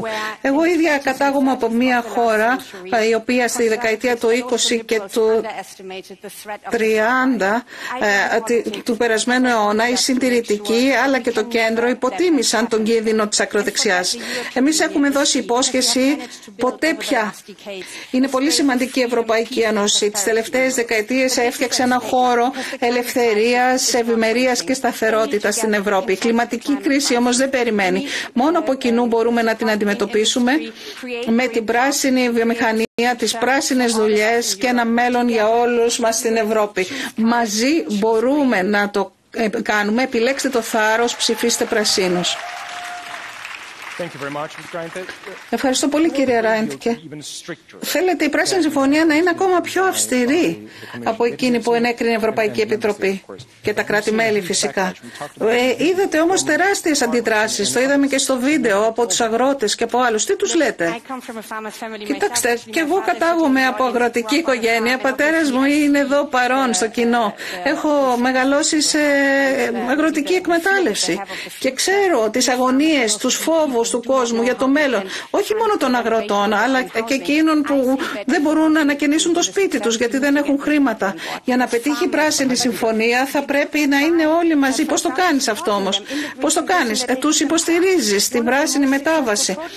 Ένα από τα πιο επιτυχημένα έργα που είχαμε στη Γερμανία ήταν ε, τα μικρά ε, φωτοβολταϊκά στα μπαλκόνια. Ε, οι καταναλωτές παράγουν το ρεύμα που καταναλώνουν και αυτό είναι καλό και για το κλίμα αλλά και για την τσέπη τους. Αυτά είναι τα πρώτα βήματα που πρέπει να κάνουμε για να συμμετέχουμε όλοι. Γιατί αν δεν επενδύσουμε τώρα στην καταπολέμηση της κλιματικής κρίσης, το μέλλον θα είναι πολύ πιο ακριβό αυτό. Δηλαδή συμφέρει και οικολογικά και οικονομικά οι πράσινοι και οι ψηφοφόροι σας ε, ε, δεν θέλουν να κάνετε συμβιβασμούς ε, στο περιβάλλον, αλλά αν παραμένετε ανένδοτοι, μήπως απομονωθείτε. Το έχουμε δει στο Ευρωπαϊκό Κοινοβούλιο και σε πολλά κράτη-μέλη που συμμετέχουμε σε κυβερνήσεις. Για κάποια θέματα πρέπει να είμαστε ρεαλιστές. Για τις ανανεώσιμες, ας πούμε, θα πρέπει να έχουμε πιο ταχείες διαδικασίες. Τώρα βλέπουμε μια μετατόπιση προς τα δεξιά και μπορεί το ΕΛΚ να συνεργαστεί με το ECR και θα ανατραπεί ολόκληρη η πράσινη συμφωνία. Πράγμα που θα αποδειχθεί ολέθριο και για το περιβάλλον, για το κλίμα, για τη φύση, για τις επερχόμενες γενιές αλλά και για την οικονομία. Αν θέλετε να παραμείνει η πράσινη συμφωνία ψηφίστε πρασίνου στις ευρωεκλογές. Εντάξει, αλλά πώς θα πείσετε τον κόσμο ότι είναι προς το συμφέρον του να το κάνει αυτό; Είδαμε τους αγρότες και άλλους να διαμαρτύρουν να λένε ότι εντάξει, ωραία είναι η στόχη, αλλά ε, το πάτε πάρα πολύ γρήγορα, δεν σας προλαβαίνουμε. Ε, ένα από τα πιο δημοφελή ε, μέτρα που έχουν λάβει κάποιες κυβερνήσεις είναι το εισιτήριο ας πούμε, του τρένου, ένα κλιματικό εισιτήριο ε, που ε, σου εξασφαλίζει μεταφορές. Κοιτάξτε τι, τι γίνεται σε διάφορα μέρη της Ευρώπης. Κλιματική αλλαγή συμβαίνει τώρα, δεν είναι κάτι το μελλοντικό. Θα πρέπει ο κόσμος να το καταλάβει και να συνεργαστεί μαζί μας. Αν έχετε δίκιο σε αυτά που λέτε, γιατί δεν ανακλάτε στις δημοσκοπήσεις, γιατί τελικά χάνετε έδρες ε, στις ευρωεκλογές; Ξέρω ότι η καλύτερη δημοσκόπηση είναι η κάλπη, αλλά τώρα οι δημοσκοπήσει λένε ότι πέφτουν οι πράσινοι. Το μήνυμά σα δεν φτάνει στου ε, ψηφοφόρου. Κοιτάξτε, εγώ κάνω προεκλογική εκστρατεία, αγωνίζομαι για την κάθε ψήφο και στο τέλο αυτό που μετράει είναι αυτό που θα βγάλει η κάλπη. Κάνουμε ό,τι μπορούμε για να έχουμε το πιο ισχυρή πράσινη ομάδα, αλλά και να συμμετέχουμε ενεργά στη διαμόρφωση τη επόμενη πενταετία. Δεν έχω πέντε και δέκα χρόνια να χάσω. Τώρα πρέπει να δράσουμε, αλλιώ καήκαμε. Ευχαριστώ πολύ.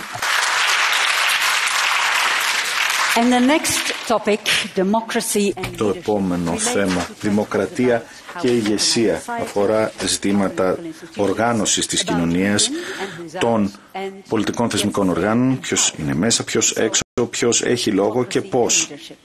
Οπότε, δημοκρατία και ηγεσία.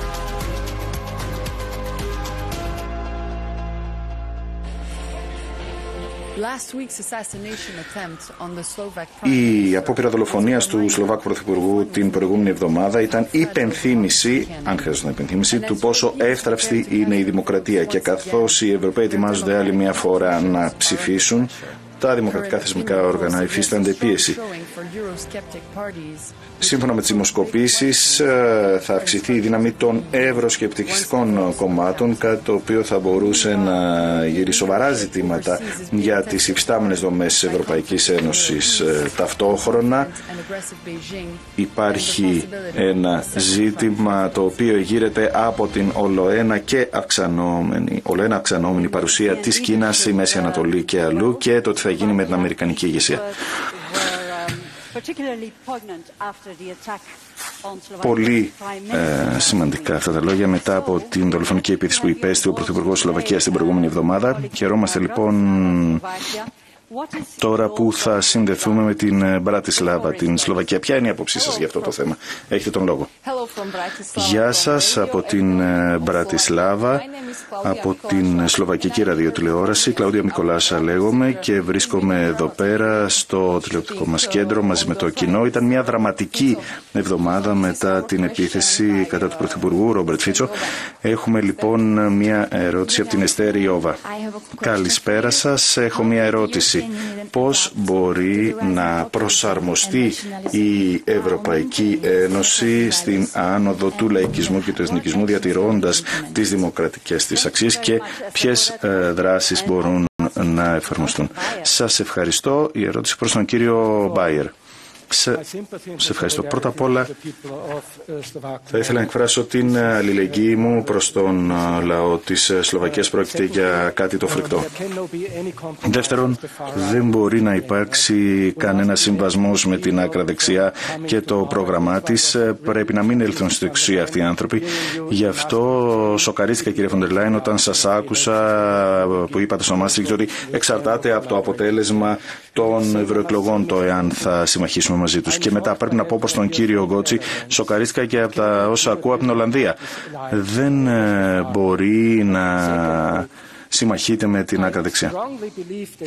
Όμως ε, θεωρώ ότι ο πυρήνας του προβλήματος είναι το κοινωνικό ζήτημα. Αν δεν υπάρχει αξιοπρεπής ζωή, στέγαση και δουλειές για τον κόσμο, δεν θα μπορέσουμε να νικήσουμε την άκρα δεξιά στην Ευρώπη.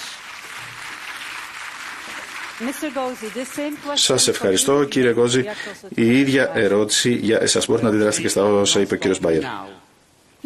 Ε, λοιπόν, μην μη με σταματάτε τώρα. Ε, ξέρετε το τραγούδι των Queen. Ε, μην ε, σταματήσει η Ευρωπαϊκή Ένωση τώρα λοιπόν. Τώρα θα πρέπει να περάσουμε σε μια τολμηρή μεταρρύθμιση. Να αλλάξουμε την συνθήκη για να ενώσουμε την Ήπειρο, να αλλάξει η συνθήκη γιατί πρέπει να είμαστε πολύ πιο αποτελεσματικοί στην προστασία του κράτους δικαίου.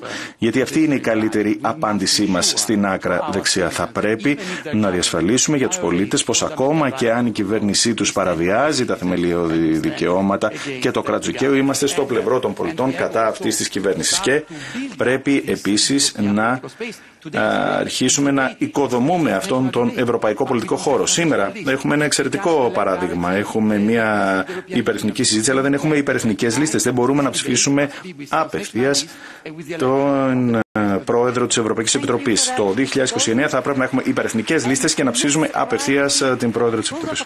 Σας ευχαριστώ κυρία Ράιντκε. Σηκώσατε κάρτα. Με συγχωρείτε κύριε Γκότζη, δεν θα τη γλιτώσετε έτσι εύκολα. Αυτό το οποίο είδαμε στην Ολλανδία είναι ότι όχι μόνο θα σχηματιστεί η κυβέρνηση, αλλά ήδη από την προεκλογική σας εκστρατεία το ΒΒΔ δεν απέκλειε συγκυβέρνηση με τον Βίλντερς και ανέβηκε η ακροδεξιά. Έχετε ευθύνη γι' αυτό. Δεν μπορείτε να μας, λύσετε, ότι θα το, να μας λέτε ότι θα το λύσετε μετά τις εκλογές. Λοιπόν, πρέπει να αποκλείσετε το ΒΒΔ από την κοινοβουλευτική σας ομάδα.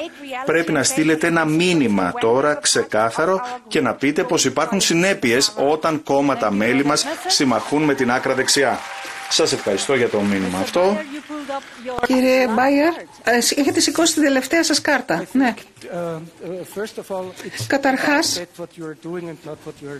το θέμα είναι τι κάνεις, όχι τι λες. Δεύτερον, το πρόβλημα είναι ότι δεν θα πρέπει να εσωματώσουμε στη δημόσια συζήτηση την ατζέντα και τα θέματα της ακροδεξιάς. Θα το δούμε στη συνέχεια ε, στη συζήτηση για τη μετανάστευση. Σε μεγάλο βαθμό τα κατεστημένα κόμματα ε, έχουν ε, υιοθετήσει τη γλώσσα και τα θέματα της ακροδεξιάς.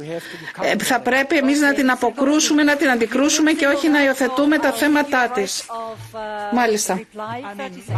Μπορείτε να απαντήσετε 30 δεύτερα κύριε Γκότζη. Εγώ είμαι ξεκάθαρος.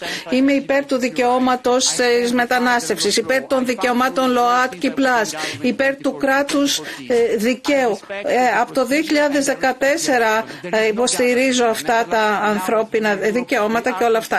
Η Ολλανδία δεν έχει ακόμα κυβέρνηση. Εμείς στο Renew Europe επικεντρωνόμαστε τώρα στις εκλογές, θα κερδίσουμε στις 9 Ιουνίου και από εκεί και πέρα τα βλέπουμε. από τη δεκάτη του μηνός και μετά θα έχουμε μια συζήτηση ξεκάθαρη, σαφή, θα το συζητήσουμε δημοκρατικά όπως όλες οι ομάδες. Και φυσικά δεν θα χρειαστούμε χρόνια για να αποφασίσουμε όπως χρειάστηκε χρόνια το ΕΛΚ για τον Όρμπαν ή για το Φίτσο, το Σοσιαλιστικό Κόμμα. Σας ευχαριστώ πολύ. Θα ήθελα να σας πω ότι και η κυρία Ράιντκε και ο κύριος Μπάιερ έχουν εξαντλήσει τις κάρτες του. Κύριε Γκότζη έχετε μία, κύριε Σμιτ δύο και κυρία Φον ντερ Λάιεν και εσείς μία. Ο Μάρτιν, ε, δημοκρατία και ηγεσία, πολύ σημαντικό για το μέλλον της Ευρώπης, αλλά ακόμα πιο σημαντική είναι η νεολαία. Για να ακούσουμε έναν από τους νέους μας εδώ. Από την Κύπρο, Έχουμε ένα νέο που ψηφίζει για πρώτη φορά, 18 ετών ε, και υπηρετεί τη στρατιωτική του θητεία, την υποχρεωτική, όχι αυτή τη στιγμή είναι εδώ. Ιωάννη, παρακαλώ. Καλησπέρα. Διανύουμε μια περίοδο που χαρακτηρίζεται από μεγάλες αλλαγές, με πολέμους, γεωπολιτικές εντάσεις και οικονομικές κρίσεις που συνδυάζονται με εντυνόμενη ανισότητα, κύματα μετανάστευσης, ε, άνοδο της ακροδεξιάς όπως ακούσαμε προηγουμένως και φυσικά την κλιματική κρίση. Έχω λοιπόν την εξής ερώτηση. Τα σημερινά θεσμικά όργανα της Ευρωπαϊκής Ένωσης μπορούν να αντιμετωπίσουν αυτό το περίπλοκο μείγμα προκλήσεων. Ευχαριστώ Ιωάννη. Η κυρία Ράιντκε. Καλησπέρα στα ελληνικά. Σας ευχαριστώ πολύ για την ερώτηση. Νομίζω ότι αν θέλουμε να χτίσουμε την Ευρωπαϊκή Ένωση που θα είναι έτοιμη για τον 21ο αιώνα με όλες αυτές τις προκλήσεις που αναφέρετε, θα πρέπει να βελτιώσουμε τον τρόπο με τον οποίο παίρνουμε αποφάσεις. Έχουμε μεγάλες πιέσεις, γρήγορες εξελίξεις και γι' αυτό χρειάζεται πιο ισχυρό Ευρωπαϊκό Κοινοβούλιο, ήδη οι πόροι, γιατί είναι πολύ σωστό ότι αναθέτουμε όλο και περισσότερα καθήκοντα στην Ευρωπαϊκή Ένωση, αλλά δεν έχουμε τα χρήματα για να τα υλοποιούμε όλα αυτά. Και ελπίζω πολύ σύντομα να έχουμε και νέο γύρο διεύρυνσης. Βλέπουμε τους Γεωργιανούς να αγωνίζονται ε, να γίνουν μέλος της Ευρώπης απέναντι στους Ρώσους. Ε, η Ευρώπη θα πρέπει να παίρνει πιο εύκολα και πιο γρήγορα αποφάσεις. Γι' αυτό θα πρέπει να τερματιστεί η ομοφωνία, να ενισχυθεί το Ευρωπαϊκό Κοινοβούλιο και να θωρακιστεί η Ευρώπη για τις επόμενες δεκαετίες και αιώνες. Μάλιστα, πώς απαντάμε στο μείγμα αυτών των προκλήσεων, κύριε Σμιτ; Θα, η Ευρώπη θα πρέπει να οικοδομηθεί με βάση τη δημοκρατία. Χωρίς δημοκρατία δεν νοείται πραγματική Ευρωπαϊκή Ένωση και γι' αυτό χρειαζόμαστε σαφήνεια. Και παρακαλώ την κυρία Φόντερ Λάιεν να φέρετε σαφήνεια, να φέρετε τρεις κόκκινες γραμμές. Η πρώτη είναι να είναι κάποιος ευρωπαϊστής. Τι σημαίνει ευρωπαϊστής για σας, να είναι κάποιος υπέρ της Ευρώπης; Σε αυτή τη διάσκεψη της Μαδρίτης άκουσα την κυρία Μελώνη να εκφωνεί λόγο και δεν μπορώ να φανταστώ ότι η δική της ιδέα για την Ευρώπη είναι η ίδια με τη δική σας. Εκεί χρειάζεται σαφήνεια. Το ίδιο ισχύει και με το κράτος δικαίου, ότι θα πρέπει να είναι κάποιος ε, υπέρ του κράτους δικαίου. Αλλιώς δεν νοείται ένωση, γιατί θα πρέπει να μπορούμε να εμπιστευόμαστε ο ένας τον άλλον και τα θεσμικά μας όργανα και τους θεσμούς μας. Το είδαμε και στην ε, ε, Ουγγαρία και αλλού. Θα πρέπει να ε, αναθεωρηθεί το άρθρο 7 για να είμαστε πολύ πιο αυστηροί με τα κράτη που δεν σέβονται το κράτος δικαίου. Ενδιαφέρον. Εγώ σας ρώτησα για τις κόκκινες γραμμές και προηγουμένως κάτω από τον προβολέα, χωρίς σαφείς απαντήσεις όμως. Για να δούμε, η κυρία Φόντερ Λάιν έχει... Ναι, σαφής. Ακούσαμε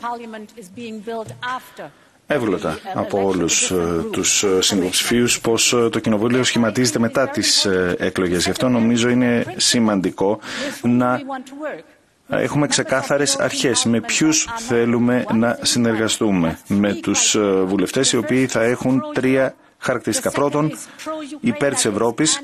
Δεύτερον, υπέρ της Ουκρανίας κατά του Πούτιν και τρίτον υπέρ του κράτους δικαίου. Αν δείτε παραδείγματος χάρη το Rassemblement National ή το AfD στη Γερμανία ή το Μπαζράσντεν ή το Κονφεντεράτσια στην Πολωνία όλα αυτά τα κόμματα μπορεί να έχουν διαφορετικά ονόματα και αρχές αλλά έχουν ένα κοινό χαρακτηριστικό. Είναι φίλοι του Πούτιν και θέλουν να καταστρέψουν την Ευρώπη μας. Δεν θα το επιτρέψουμε.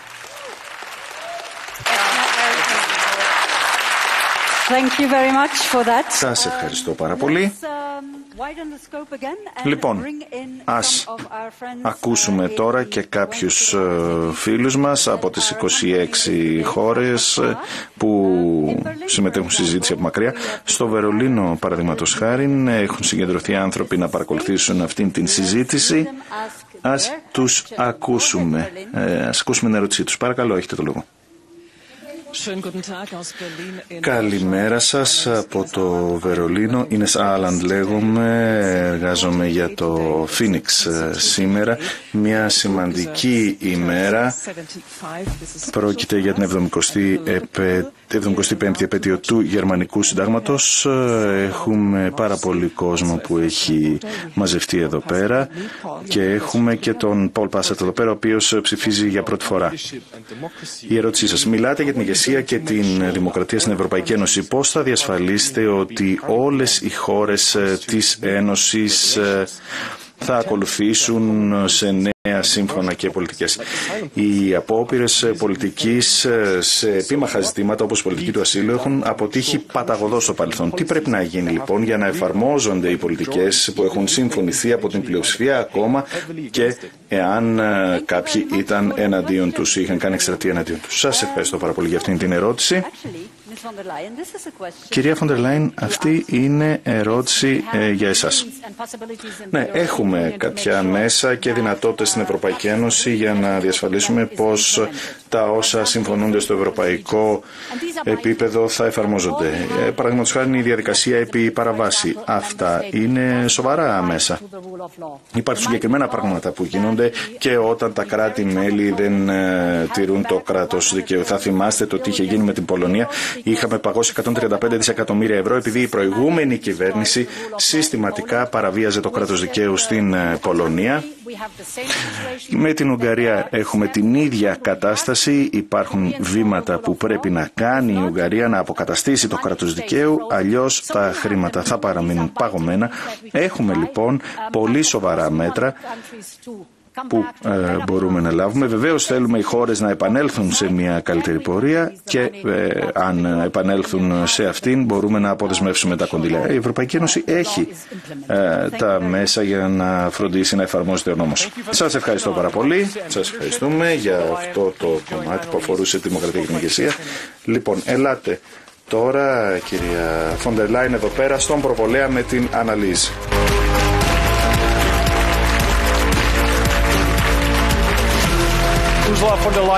Η Ούρσουλα Φόντερ Λάιν είναι πρόεδρος της Ευρωπαϊκής Επιτροπής. Γεννήθηκε το 1958 εδώ στις Βρυξέλλες και μπήκε στην τοπική πολιτική στη Γερμανία το 1990. Μιλάει τρεις ευρωπαϊκές γλώσσες. Ε, ο ηθοποιός Χιου Τζάκμαν την έσωσε κάποια φορά από ένα σκουπίδο ντενεκέ. Είναι αστείο αυτό για τη τηλεοπτική εκπομπή. Ε, και η αγαπημένη της ρίση είναι από τη δικαστή του ανώτατου δικαστηρίου των ΗΠΑ, Ρουθ Κίνσπερκ. Έχετε ένα λεπτό. Γεια σας. Εκστρατεία ε, για πρόεδρος Ευρωπαϊκής Επιτροπής για δεύτερη φορά. Είναι από τα καλύτερα πράγματα που μου έχουν συμβεί. Έχω πάει σε 11 διαφορετικά κράτη-μέλη. Το επόμενο 10 επενθήμερο θα πάω και στα υπόλοιπα. Έχω δει ανθρώπους από όλες τις ηλικίες. Οι πιο συναρπαστικοί είναι οι νέοι γιατί είναι οι πιο ένθερμοι υποστηρικτές της Ευρώπης. Και τους ερωτώ τι περιμένετε από την Ευρώπη; Πάντα παίρνω την ίδια απάντηση. Μια ισχυρή Ευρώπη θέλουν. Μια Ευρώπη που να μοιάζεται να προστατεύει και να ευημερεί. Είμαι έτοιμη να σχηματίσω μια πλειοψηφία για μια ισχυρή Ευρώπη. Θέλω πραγματικά να βοηθήσω με όλη μου την πείρα και όλη την αποφασιστικότητα για μια ισχυρή Ευρώπη, δημοκρατία, ευημερία και για την ασφάλειά μας. Ευχαριστώ πολύ κύριε Φόντερ Λάιν.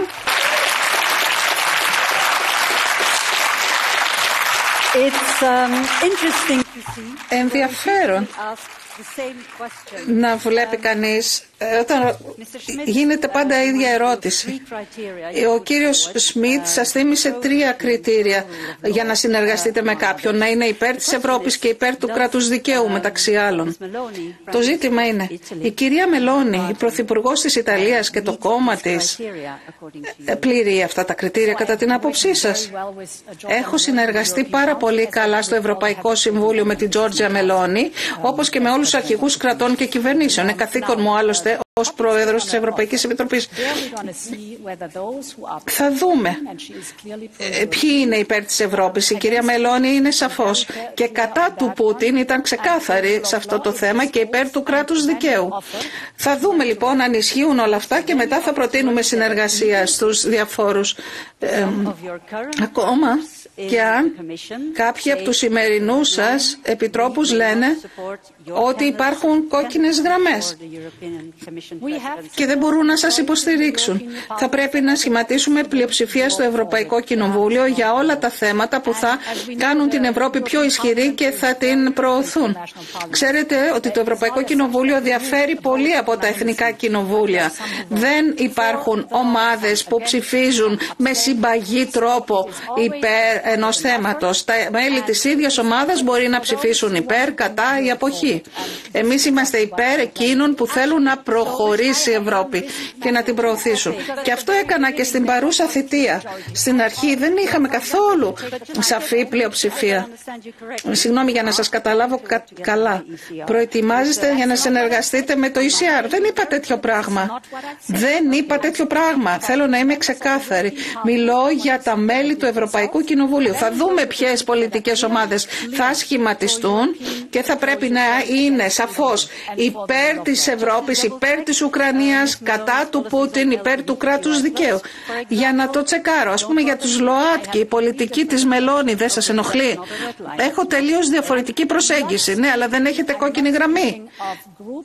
Δεν μιλώ για πολιτικές ομάδες, μιλώ για μεμονωμένους βουλευτές, για άτομα που θα ενταχθούν σε πολιτικές ομάδες. Θα το δούμε στη συζήτηση με τους υποψηφίους. Δεν ξέρουμε πώς θα διαμορφωθούν και ποια θα είναι η σύνθεση των πολιτικών ομάδων, πώς θα κατασταλάξουν όταν συγκροτηθούν σε σώμα. Είναι κάποιες αρχές που επιλέγουμε και είμαστε ξεκάθαροι. Σύντομα, γιατί έχω και άλλη ερώτηση. Να σας δώσω ένα παράδειγμα.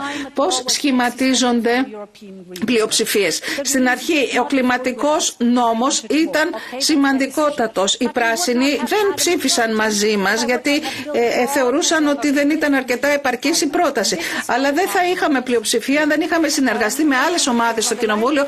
Έτσι λειτουργεί το Κοινοβούλιο. Έτσι δουλεύει. Μάλιστα, τελευταία ερώτηση. Ε, αυτή την εβδομάδα αναγνώρισαν το Παλαιστινιακό κράτος διάφορες ευρωπαϊκές χώρες. Ήδη από την αρχή μετά την 7η ε, Οκτωβρίου είστε στο πλευρό του Ισραήλ με σθένος.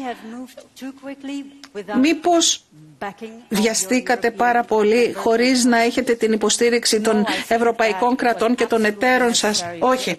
Νομίζω ότι ήταν απολύτως απαραίτητο να καταλάβουμε και να συνειδητοποιήσουμε τη φρίκη αυτή που συνέβη στις 7 Οκτωβρίου που δεν θα πρέπει ποτέ να επαναληφθεί.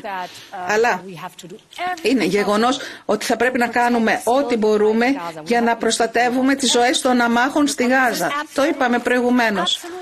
Απολύτως. ζητώ και κατάπαυση του πυρός και να αφαιθούν ελεύθεροι 128 όμοιροι που παραμένουν στα χέρια της Χαμάς. Σαφέστατα. Είναι γεγονός ότι η Ευρωπαϊκή Ένωση ε, έχει κράτη-μέλη με διαφορετικούς στόχους εδώ, αλλά είμαστε όλοι υπέρ της λύσης των δύο κρατών. Ας εργαστούμε προς αυτή την κατεύθυνση, γιατί μόνο αυτό μπορεί να φέρει την ειρήνη στην περιοχή. Ευχαριστώ κυρία Φόντερ Λάιν. Είδα... Σας ευχαριστώ. Είδα ότι ο κύριος ε, Σμιτ είχε σηκώσει την ε, κάρτα. Δεν το επιτρέπουν όμως αυτό οι κανόνες, οπότε ε, έχετε ακόμα την κάρτα, μπορείτε να την χρησιμοποιήσετε μετά. Ξεκινάμε ένα άλλο μεγάλο κεφάλαιο, το οποίο απασχολεί τα κράτη-μέλη για την Ευρωπαϊκή Ένωση, την μετανάστευση και τα σύνορα.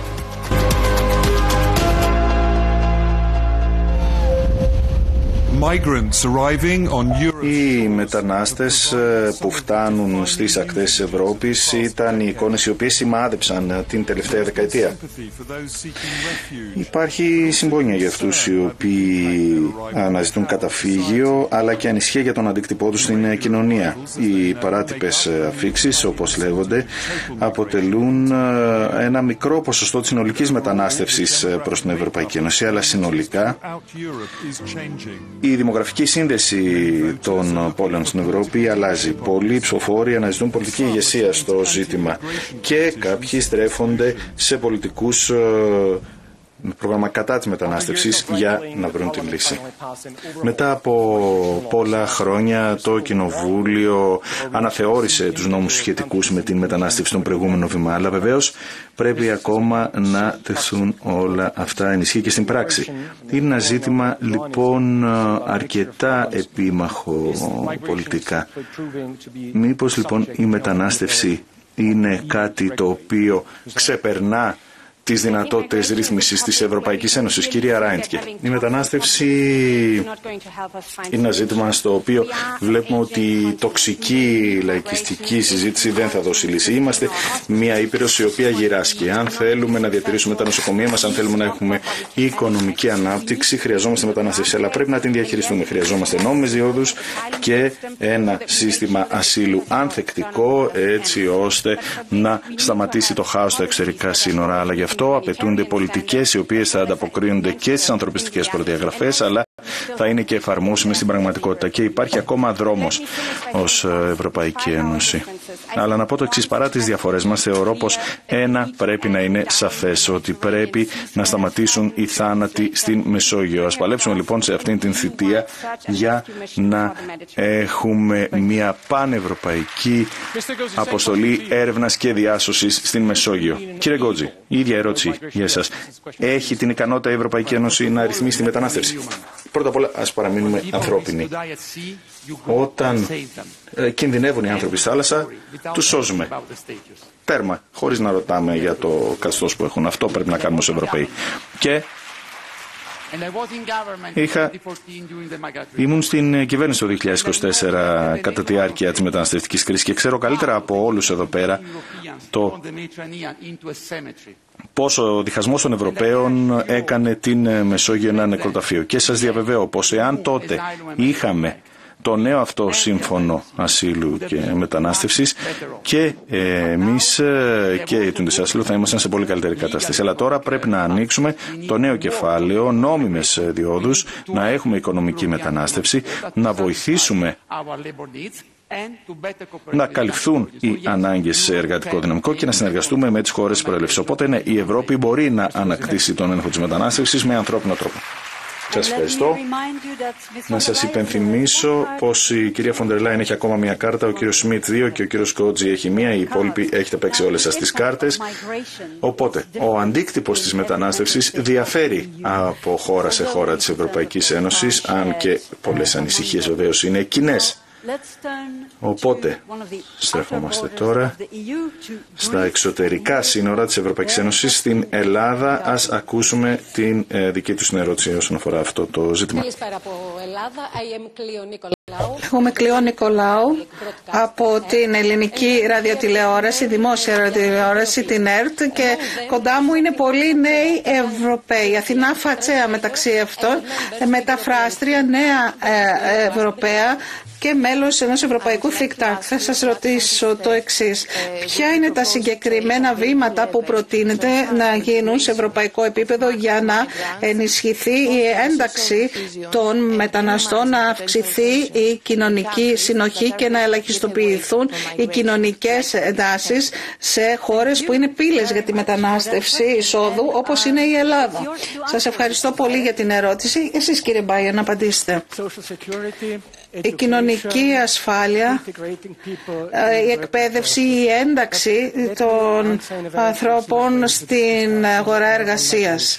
Ε, επιτρέψτε μου να απαντήσω με ένα προσωπικό τρόπο. Ε, δεν έχω γνωρίσει τη γιαγιά μου γιατί πέθανε στο Auschwitz. Οι λεγόμενες δυτικές δημοκρατίες δεν ε, άνοιγαν τις πόρτες τους για τους πρόσφυγες. Και τώρα τι γίνεται, ε, αρνούμαστε ε, το δικαίωμα στην ατομική εξέταση των αιτήσεων ασύλου. Αυτό είναι ντροπή και έσχος, είναι ένα όνειδος. Θα πρέπει να είμαστε αλληλέγγυοι και να μπορούμε να ε, υποδεχόμαστε με αξιοπρέπεια τους ανθρώπους αυτούς και με σεβασμό στα ανθρώπινα δικαιώματά τους. Ευχαριστώ. Τα συγκεκριμένα μέτρα που έχουν να κάνουν με την ένταξη και την μείωση της πόλωσης σε αυτό το θέμα. Τι προτείνετε εσείς κυρία Φόντερ Λάιν, πώς να μειωθεί η πόλωση μετά από αυτά τα δύο θέματα που αναφέρατε; Ποιος κρύβεται από πίσω, το οργανωμένο έγκλημα, οι διακινητές και οι λαθρέμποροι. Εμείς έχουμε διεθνείς υποχρεώσεις, ναι και οι δουλέμποροι μάλλον. Αλλά από την άλλη στην Ευρώπη εμείς αποφασίζουμε ποιος θα έρχεται στην Ευρωπαϊκή Ένωση και υπό ποιους όρους και προϋποθέσεις. Όχι οι διακινητές. Αυτό είναι υψής της σημασίας. Και θα πρέπει να είμαστε απολύτως ξεκάθαροι. Αυτοί που δικαιούνται να παραμένουν θα παραμένουν, εκείνοι που δεν δικαιούνται θα επιστρέφουν. Θα πρέπει όμως να υπάρχει νόμιμος και ασφαλής τρόπος να έρχεται στην Ευρωπαϊκή Ένωση. Πέρσι στην Ευρωπαϊκή Ένωση είχαμε ένα εκατομμύριο αιτήσεις αλλά, ε, ε, ασύλου, αλλά 3,7 εκατομμύρια ήρθαν νόμιμα για να εργαστούν στην Ευρώπη. Ευχαριστώ. Δεν έχει σηκώσει κανείς κάρτα. Εσύ, Μάρτιν. Ε, επόμενος, ψηφοφόρος, 31 ετών και ψηφίζει για πρώτη φορά. Ελπίζω να μην το πειράζει που το πω. Είναι προπονητής ποδοσφαίρου και φοιτητής από την Κροατία. Ε, γεια σας. Έχω μία χρόνια νόσο ε, με σκλήρωσε κατά πλάκας και ανησυχώ ιδιαίτερο για εκείνους που χρειάζεται να φεύγουν από τις αιστείες τους για λόγους πολέμου ή άλλους λόγους και έχουν σοβαρά νοσήματα. Τι μπορεί να κάνει περισσότερο η Ευρωπαϊκή Ένωση για να ενισχύσει ε, ανθρώπους που έχουν ε, σημαντικές ανάγκες και προβλήματα σωματικής ή ψυχικής υγείας χωρίς να ορθώνουμε νέα εμπόδια, χωρίς να επιβαρύνεται ιδιαίτερα το σύστημα σύστημα υγείας ε, του κράτους μέλους. Ο κύριος Σμιτ. Ευχαριστώ. Νομίζω ότι η Ευρώπη είναι ένα μεγάλο ε, εγχείρημα και σχέδιο αλληλεγγύης. Και η αλληλεγγύη θα πρέπει να αρχίσει από τους πιο ευάλωτους και εκείνους που υποφέρουν περισσότερο. Πραγματικά τα άτομα με αναπηρίες πρέπει να βοηθούνται σε διάφορα κράτη όπως και εκείνοι που πάσχουν από διάφορα νοσήματα και ε, ή έχουν διάφορες αναπηρίες. Γι' αυτό ε, ε, πιέζω το κουμπί εδώ. Συμφωνώ με αυτό που είπατε για τους διακινητές, αλλά δεν τελειώνει και η ιστορία. Αν κοιτάξουμε τι γίνεται στην Τινησία, και υποθέτω ότι γνωρίζετε τι συμβαίνει στην Τινησία, τι συμβαίνει στους πρόσφυγες που αποθούνται στην έρημο που ξυλοκοπούνται και ορισμένοι δολοφονούνται. Δεν είναι αυτή η Ευρώπη. Δεν είναι αυτές οι ευρωπαϊκές αξίες.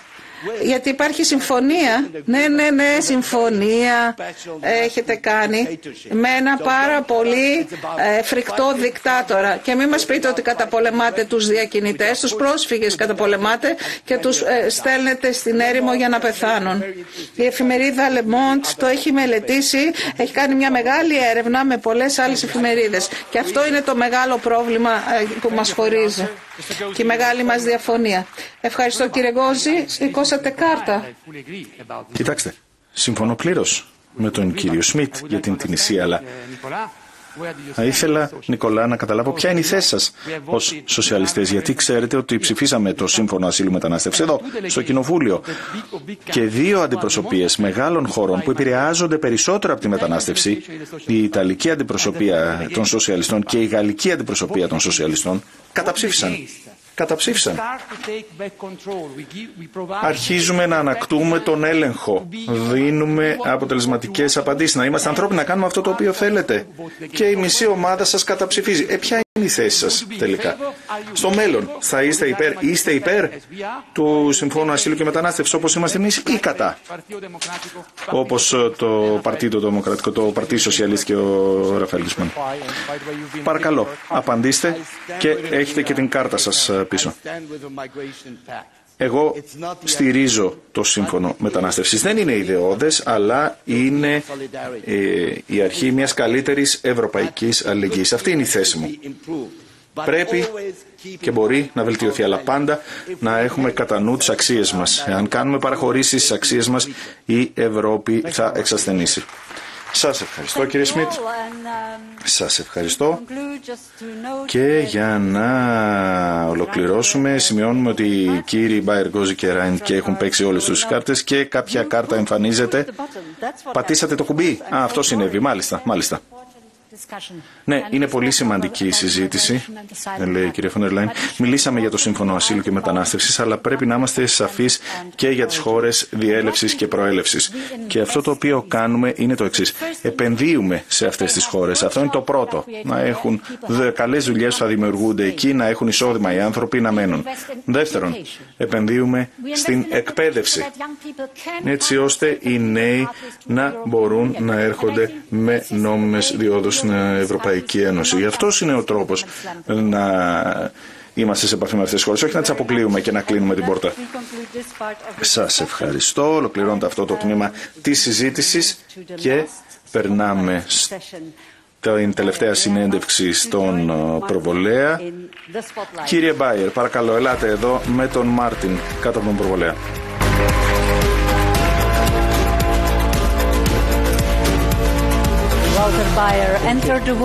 Ο Βάλτερ Μπάιερ γεννήθηκε το 1954 στη Βιέννη της Αυστρίας, όπου και ζει. Ε, μιλά ε, γερμανικά, γαλλικά και αγγλικά και ξεκίνησε από το φοιτητικό κίνημα το 1977. Οι συνεργάτες του λένε ότι του αρέσει η σοκολάτα όσο και τα δικαιώματα των εργαζομένων και έχει επιλέξει μια ρίση από μια στίχο από ένα πολύ γνωστό πορτογαλικό τραγούδι. Ξέρετε τη διαδικασία, ακολουθούμε την ίδια δομή. Έχετε ένα λεπτό χωρίς να σας διακόψουμε για να απευθύνετε στους ψηφοφόρους σας. Εγώ είμαι από μια εργατική οικογένεια της Βιέννη και είμαι περήφανος που κατάγομαι από την εργατική τάξη. Έχω μεγαλώσει πολύ ταπεινά. Οι γονείς μου δεν μπόρεσαν να με στείλουν, μάλλον έκαναν πολλές θυσίες για να μπορέσω να πάω στο γυμνάσιο καν και ξέρω τι εστί κοινωνική ανισότητα. Θέλω να το αλλάξω αυτό.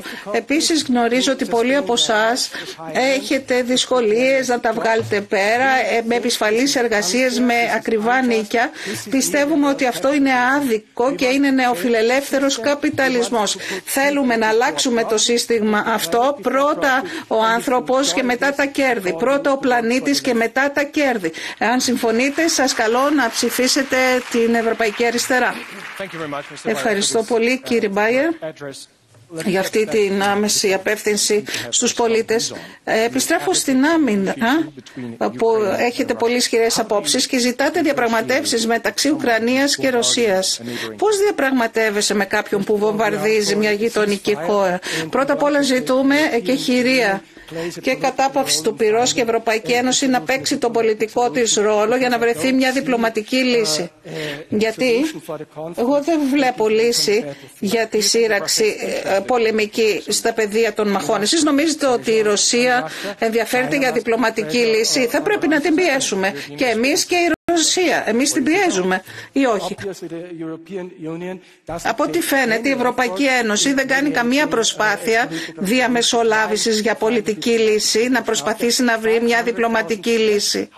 500.000 νεκροί. Πόσοι νεκροί θα χρειαστούν ακόμα; Πότε θα τερματιστεί αυτό; Πρέπει να τελειώσει αυτός ο τρομακτικός πόλεμος για να υπάρχει μια ασφαλής και ευημερούσα ειρήνη και μια Ουκρανία που να μπορέσει να ανοικοδομηθεί. Εσείς είστε κατά του ΝΑΤΟ, το οποίο ήταν η ραχοκοκαλιά της ανάπτυξης. Ε, δεν θέλετε να επεκταθεί το ΝΑΤΟ, να διευρυνθεί; Πώς θα ανηθείτε σε μια χώρα που το ζητάει; Κάθε χώρα αποφασίζει αυτόνομα. Η χώρα μου, η, Ρωσία, η Αυστρία, συγγνώμη, είναι ε, ουδέτερη και θέλει να παραμείνει ουδέτερη. Και η ασφάλεια στο μέλλον δεν μπορεί να βασίζεται σε στρατιωτικούς συνασπισμούς, αλλά σε ένα συλλογικό σύστημα ασφαλείας με μείωση των εξοπλισμών και μέτρα που θα μειώνουν την απειλή πολέμου στην Ευρώπη. Επίσης, έχετε απορρίψει το σύμφωνο για τη μετανάστευση. Πώς απαντάτε σε χώρες όπως είναι η ε, Ελλάδα που ακούσαμε προηγουμένως, Ιταλία, Ισπανία. Φυσικά χρειάζεται δίκαιη κατανομή των ε, μεταναστών που καταφθάνουν. Ε, είμαστε αντίθετοι και μεταξύ άλλων λόγων στο σύμφωνο για τη μετανάστευση επειδή είναι κατά των ανθρωπίνων δικαιωμάτων γιατί ε, επιτρέπει σε χώρες να εξαγοράζουν την υποχρέωσή τους να δέχονται μετανάστες. Αυτό τι είναι; Αν τους επιτρέπεις ε, να βγαίνει από ένα κοινό πλαίσιο ε, αλληλεγγύης πληρώνοντας, τι λύση είναι αυτή; Ποια είναι η λύση και ποιο είναι το νόημα; Θέλω να κάνω το σωστό, αλλά μπορώ και να το πληρώσω και να μην το κάνω. Κοιτάξτε, είναι θέμα ανθρωπιάς. Δεν είναι θέμα πολιτικό ή κομματικό. Εγώ είμαι υπέρ των ανθρωπίνων δικαιωμάτων πάνω απ' όλα και της σύμβασης ε, της Γενέβης του ΟΗΕ για τους πρόσφυγες. Είναι ατομικό δικαίωμα κάθε προσώπου που πατάει το ευρωπαϊκό έδαφος να καταθέσει αίτηση ασύλου και να εξετάζεται ατομικά η κάθε περίπτωση. Αυτό δεν εξασφαλίζεται από το Σύμφωνο για τη Μετανάστευση από όλους τους σημερινούς υποψηφίους. Φαίνεται διαφωνείτε με όλους. Υπάρχει τίποτα ε, στο οποίο συμφωνείτε με τους άλλους υποψηφίους γενικά ή για τη μετανάστευση; Γενικά.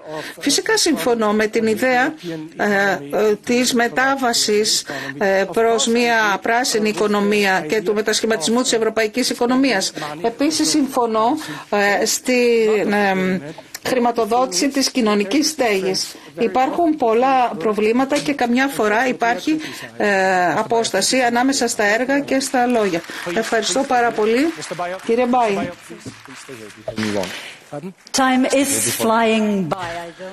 Ο χρόνος περνάει πάρα πολύ γρήγορα, δεν ξέρω αν αισθάνεστε κι εσείς έτσι. Περνάμε λοιπόν στο τελευταίο μας ε, θέμα. Ίσως ε, παρατηρήσατε πως εγώ και ο Μάρτιν είμαστε πραγματικοί δημοσιογράφοι, άνθρωποι, αλλά Ποιος ξέρει, ίσως ε, στις επόμενες εκλογές αυτές οι συζητήσεις να γίνονται από άβαταρ. Ένας λόγος παραπάνω λοιπόν για να συζητήσουμε την καινοτομία και την τεχνολογία.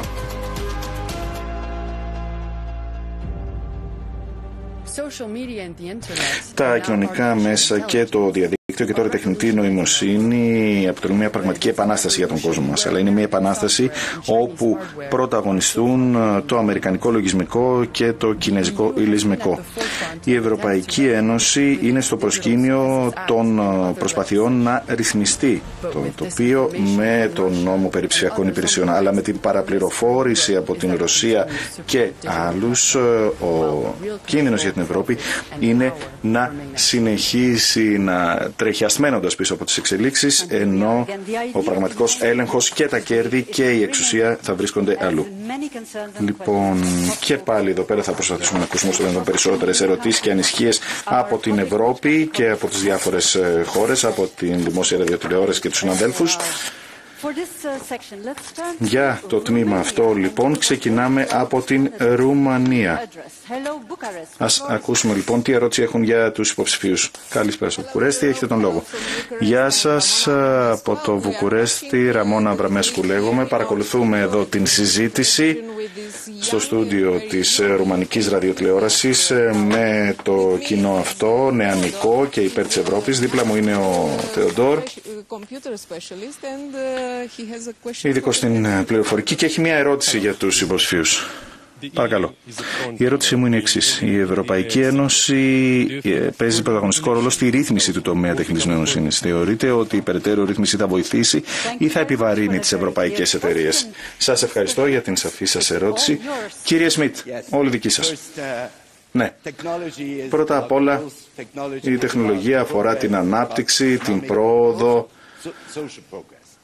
την οικονομική και την κοινωνική. Και είμαστε σε μια κατάσταση στην οποία η Ευρώπη έχει μείνει πίσω σε πολλούς τομείς. Και η μόνη λύση είναι να επενδύσουμε περισσότερα. Οπότε δεν θα μας βοηθήσει η λιτότητα, θα μας βοηθήσουν οι επενδύσεις. Ε, δεν θα πρέπει να σταματήσουμε την πράσινη τεχνολογία, πρέπει να επενδύσουμε στην πράσινη τεχνολογία. Το θέμα είναι το ταλέντο. Έχουμε πολλά ταλέντα, πρέπει να προσελκύσουμε ταλέντα από ολόκληρο τον κόσμο, αλλά επίσης πρέπει να ενθαρρύνουμε και τους δημιουργούς της νεοφυής επιχειρήσεις. Γιατί όταν έχουμε τέτοιες επιχειρήσεις, τι συμβαίνει; Υπόθηκε, το θέμα δεν είναι η ρύθμιση. Το θέμα είναι το ότι δεν υπάρχει χρηματοδότηση. Γι' αυτό χρειάζεται η κατάλληλη χρηματοδότηση. Χρειάζεται η Ένωση των Κεφαλαίων Αγορών. Δεν αναφέρομαι συχνά σε τραπεζίτες, αλλά ένας τραπεζίτης είπε ότι αν θέλετε πράσινο deal δεν θα γίνει χωρίς την Ένωση των Κεφαλαίων Αγορών. Ούτε η τεχνολογική πρόοδος θα γίνει χωρίς την Ένωση των Κεφαλαίων Αγορών. Έτσι λοιπόν πρέπει να προχωρήσει η Ευρώπη. Σας ευχαριστώ πάρα πολύ. Έχετε ακόμη μια κάρτα. Κυρία Φόντερ Λάιεν, ίδια ερώτηση για εσάς. Τα υπέρ και τα κατά της ρύθμισης ε, σε σχέση με την καινοτομία και τις ευρωπαϊκές εταιρείες θέλουν να ακολουθήσουν αυτό το δρόμο. Ναι, ήμασταν πάρα πολύ προσεκτικοί στο νομοθέτημα περί τεχνητής νοημοσύνης και δεδομένων να ενισχύσουμε την ανάπτυξη και όλες αυτές τις φανταστικές ιδέες και ευκαιρίες που προσφέρει η τεχνητή νοημοσύνη. Αλλά βεβαίως υπάρχουν και οι κίνδυνοι. Γι' αυτό ήμασταν η πρώτη ήπειρος, η πρώτη περιοχή στον πλανήτη που το ρύθμισε αυτό το ζήτημα. Και δείτε το παράδειγμα του TikTok παραδείγματος χάρη. Με την νομοθεσία περί της ε, αγοράς ψηφιακών υπηρεσιών, τους είπαμε. θα πρέπει να ερευνήσετε το πώς βλάπτεται η ψυχική υγεία των νέων με το TikTok Lite παραδείγματος χάρη. Και μόλις ανακοινώσαμε αυτή την έρευνα, το TikTok απέσυρε το TikTok Lite, την σχετική εφαρμογή από την αγορά, γιατί ήξερε ότι θα ακολουθήσει η έρευνα. Έτσι λοιπόν μπορούμε να έχουμε ένα μοχλό πίεσης, ενώ ταυτόχρονα προσελκύουμε την καινοτομία. Σας ευχαριστώ. Που αναφερθήκατε στο ζήτημα του TikTok Κάτι πάρα πολύ σημαντικό. Λοιπόν, ας ακούσουμε τώρα τους νέους ψηφοφόρους. Η Νίνα από το Βέλγιο, 17 ετών. Είναι η νεότερη, νομίζω, ψηφοφόρος. Ε, φοιτήτρια και DJ από την Αμβέρσα. Η ερώτησή σας. Βλέπουμε πώς αυξάνεται η δημοφιλία του TikTok και υπάρχουν ανησυχίες για την ασφάλεια των δεδομένων και το πώς επηρεάζεται η νεολαία. Η ερώτησή μου είναι τι πρέπει να κάνει η Ευρωπαϊκή Ένωση για να ανταποκριθεί στους δυνητικούς κινδύνους του TikTok ενώ βεβαίως θα σέβεται την καινοτομία και την ελευθερία έκφρασης. Κύριε Μπάιρ, έχετε το λόγο.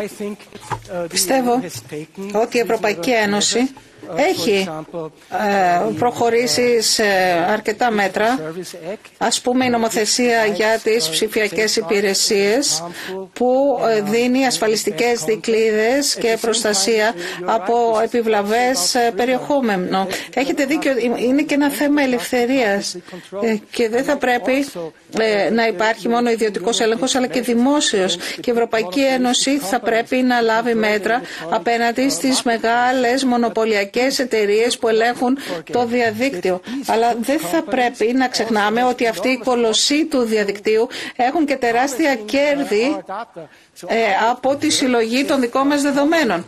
Ε, θα προτιμούσα η επικοινωνία και η πληροφόρηση να είναι ένα κοινωνικό αγαθό το οποίο να ελέγχεται με δημοκρατικό τρόπο από την κοινωνία. Ο κύριος Γκότζη. Κοιτάξτε, εγώ είμαι πατέρας Έχω δύο μικρά παιδιά και ανησυχώ πάρα πολύ για την προστασία τους και για τον αγώνα που δίνουμε για την προστασία τους στο διαδίκτυο και της ψυχικής τους υγείας. Έχει κάνει εξαιρετική δουλειά η Ευρωπαϊκή Επιτροπή. Έχουμε τώρα το εργαλείο για να εξασφαλίσουμε την προστασία. Νομίζω θα πρέπει να βάλουμε την ενηλικίωση στο διαδίκτυο στην ηλικία των 15 ετών και μέχρι την ηλικία των 15 θα πρέπει να πλαισιώνουμε τα παιδιά μας και να τα παρακολουθούμε για να προστατεύονται καλύτερα και διαδικτυακά και στο TikTok. Έχουμε τα μέσα και αν κάποιος δεν συμμορφώνεται θα πρέπει να προβαίνουμε στι απαραίτητες κινήσεις. Εγώ TikTok δεν έχω. Και για τους influencers θα πρέπει να έχουμε τις ίδιες μορφές διαφάνειας. Εγώ δεν θέλω να τους περιστήλω καμία ελευθερία, αλλά θα πρέπει να ξέρουμε όταν πληρώνονται από κάποιον ε, τι ισχύει. Δηλαδή μπορεί να λένε κάτι influencer και να κάνουν διαφήμιση ή εκστρατεία υπέρ κάποιου τρίτου που τους πληρώνει. Αυτό θα πρέπει να γίνεται γνωστό. Ευχαριστώ. Πάμε στην τελευταία ερώτηση για το θέμα αυτό. Βλέπουμε σχεδόν καθημερινά παραδείγματα αυτή τη στιγμή ε, από την τεχνολογία deep fake και τους κινδύνους της. Τι θα κάνει η Ευρωπαϊκή Επιτροπή έτσι ώστε οι πολίτες να ξέρουν πότε βλέπουν και ακούν ένα υπαρκτό πρόσωπο και όχι κάποιο που το μιμείται ε, και είναι η τεχνητή νοημοσύνη. Φυσικά οι πλατφόρμες θα πρέπει να αναλάβουν τις ευθύνες τους και να αφαιρούν περιεχόμενο ε, όταν πηγαίνει προς την κατεύθυνση αυτή. Θα πρέπει να εφαρμόζεται η νομοθεσία για την παροχή ψηφιακών υπηρεσιών. Δεν αρκεί να έχεις ένα νόμο στα χαρτιά. Πρέπει και να εφαρμόζεται. Να πω κάτι πάρα πολύ προσωπικό γιατί ξέρω ότι πολλοί φοβούνται στην Ευρώπη. Ε, ε, εγώ ε, έχω μία σύντροφο από τη Γαλλία. Είμαστε ένα ζευγάρι λεσβιών θαυμάσιο και βλέπω πολλούς ανθρώπους να ανησυχούν για το τι θα τους συμβεί και αν η Ευρώπη θα παραμείνει σπίτι τους. Και εγώ θέλω να τους διαβεβαιώσω και να τους καθησυχάσω. Θα παραμείνει το σπίτι σας η Ευρώπη. Ας αγωνιστούμε μαζί για την πολυμορφία. Η Ευρώπη έχει αναπτυχθεί σε αυτές τις αξίες επάνω και είμαι σίγουρη ότι μπορούμε να κερδίσουμε και τις εκλογές με αυτές τις αξίες. Σας ευχαριστώ. Κύριε Σμιτ, έχετε ακόμα μία κάρτα ε, για να την ε, χρησιμοποιήσετε εφόσον το επιθυμείτε. Για την τεχνολογία θέλω να πω ότι ο κόσμος αλλάζει εκ βάθρων ε, λόγω των αλγορίθμων. Η σημερινή Ευρωπαϊκή Επιτροπή έχει περάσει μια νομοθεσία που είναι η οδηγία για τους εργαζομένους στις πλατφόρμες. Αλλά υπάρχουν και οι αλγόριθμοι που ελέγχουν τους εργαζομένους. Αυτό είναι μια τεράστια πρόκληση. Συμφωνώ με όλα όσα είπατε για τις ψευδείς ειδήσεις, το deepfake, το TikTok κτλ. Αλλά θα πρέπει να έχουμε μια ιδέα για το πώς θα είναι στο μέλλον η αγορά της εργασίας. Εγώ δεν είμαι κατά της τεχνητής νοημοσύνης, αλλά θα πρέπει πάντα στο επίκεντρο να βρίσκεται ο άνθρωπος. Ολοκληρώθηκε λοιπόν εδώ αυτή η τηλεμαχία. Σας ευχαριστούμε όλοι όλους. Τελειώσαμε εδώ. Ήταν μεγάλη χαρά που είχαμε να συζητήσουμε για το μέλλον της Ευρώπης εν ώψη των ευρωεκλογών σε μια κρίσιμη στιγμή για την ιστορία μας. Σας ευχαριστούμε πάρα πολύ που μας παρακολουθήσατε και από τις Βρυξέλλες και από όλη την Ευρωπαϊκή Ένωση. Όλους εσάς που κάνατε ερωτήσεις και εσάς που ψηφίζετε για πρώτη φορά και είστε εδώ παρόντες. Και φυσικά θέλουμε να ευχαριστήσουμε και τους υποψηφίους που συμμετείχαν σε αυτή τη τηλεμαχία.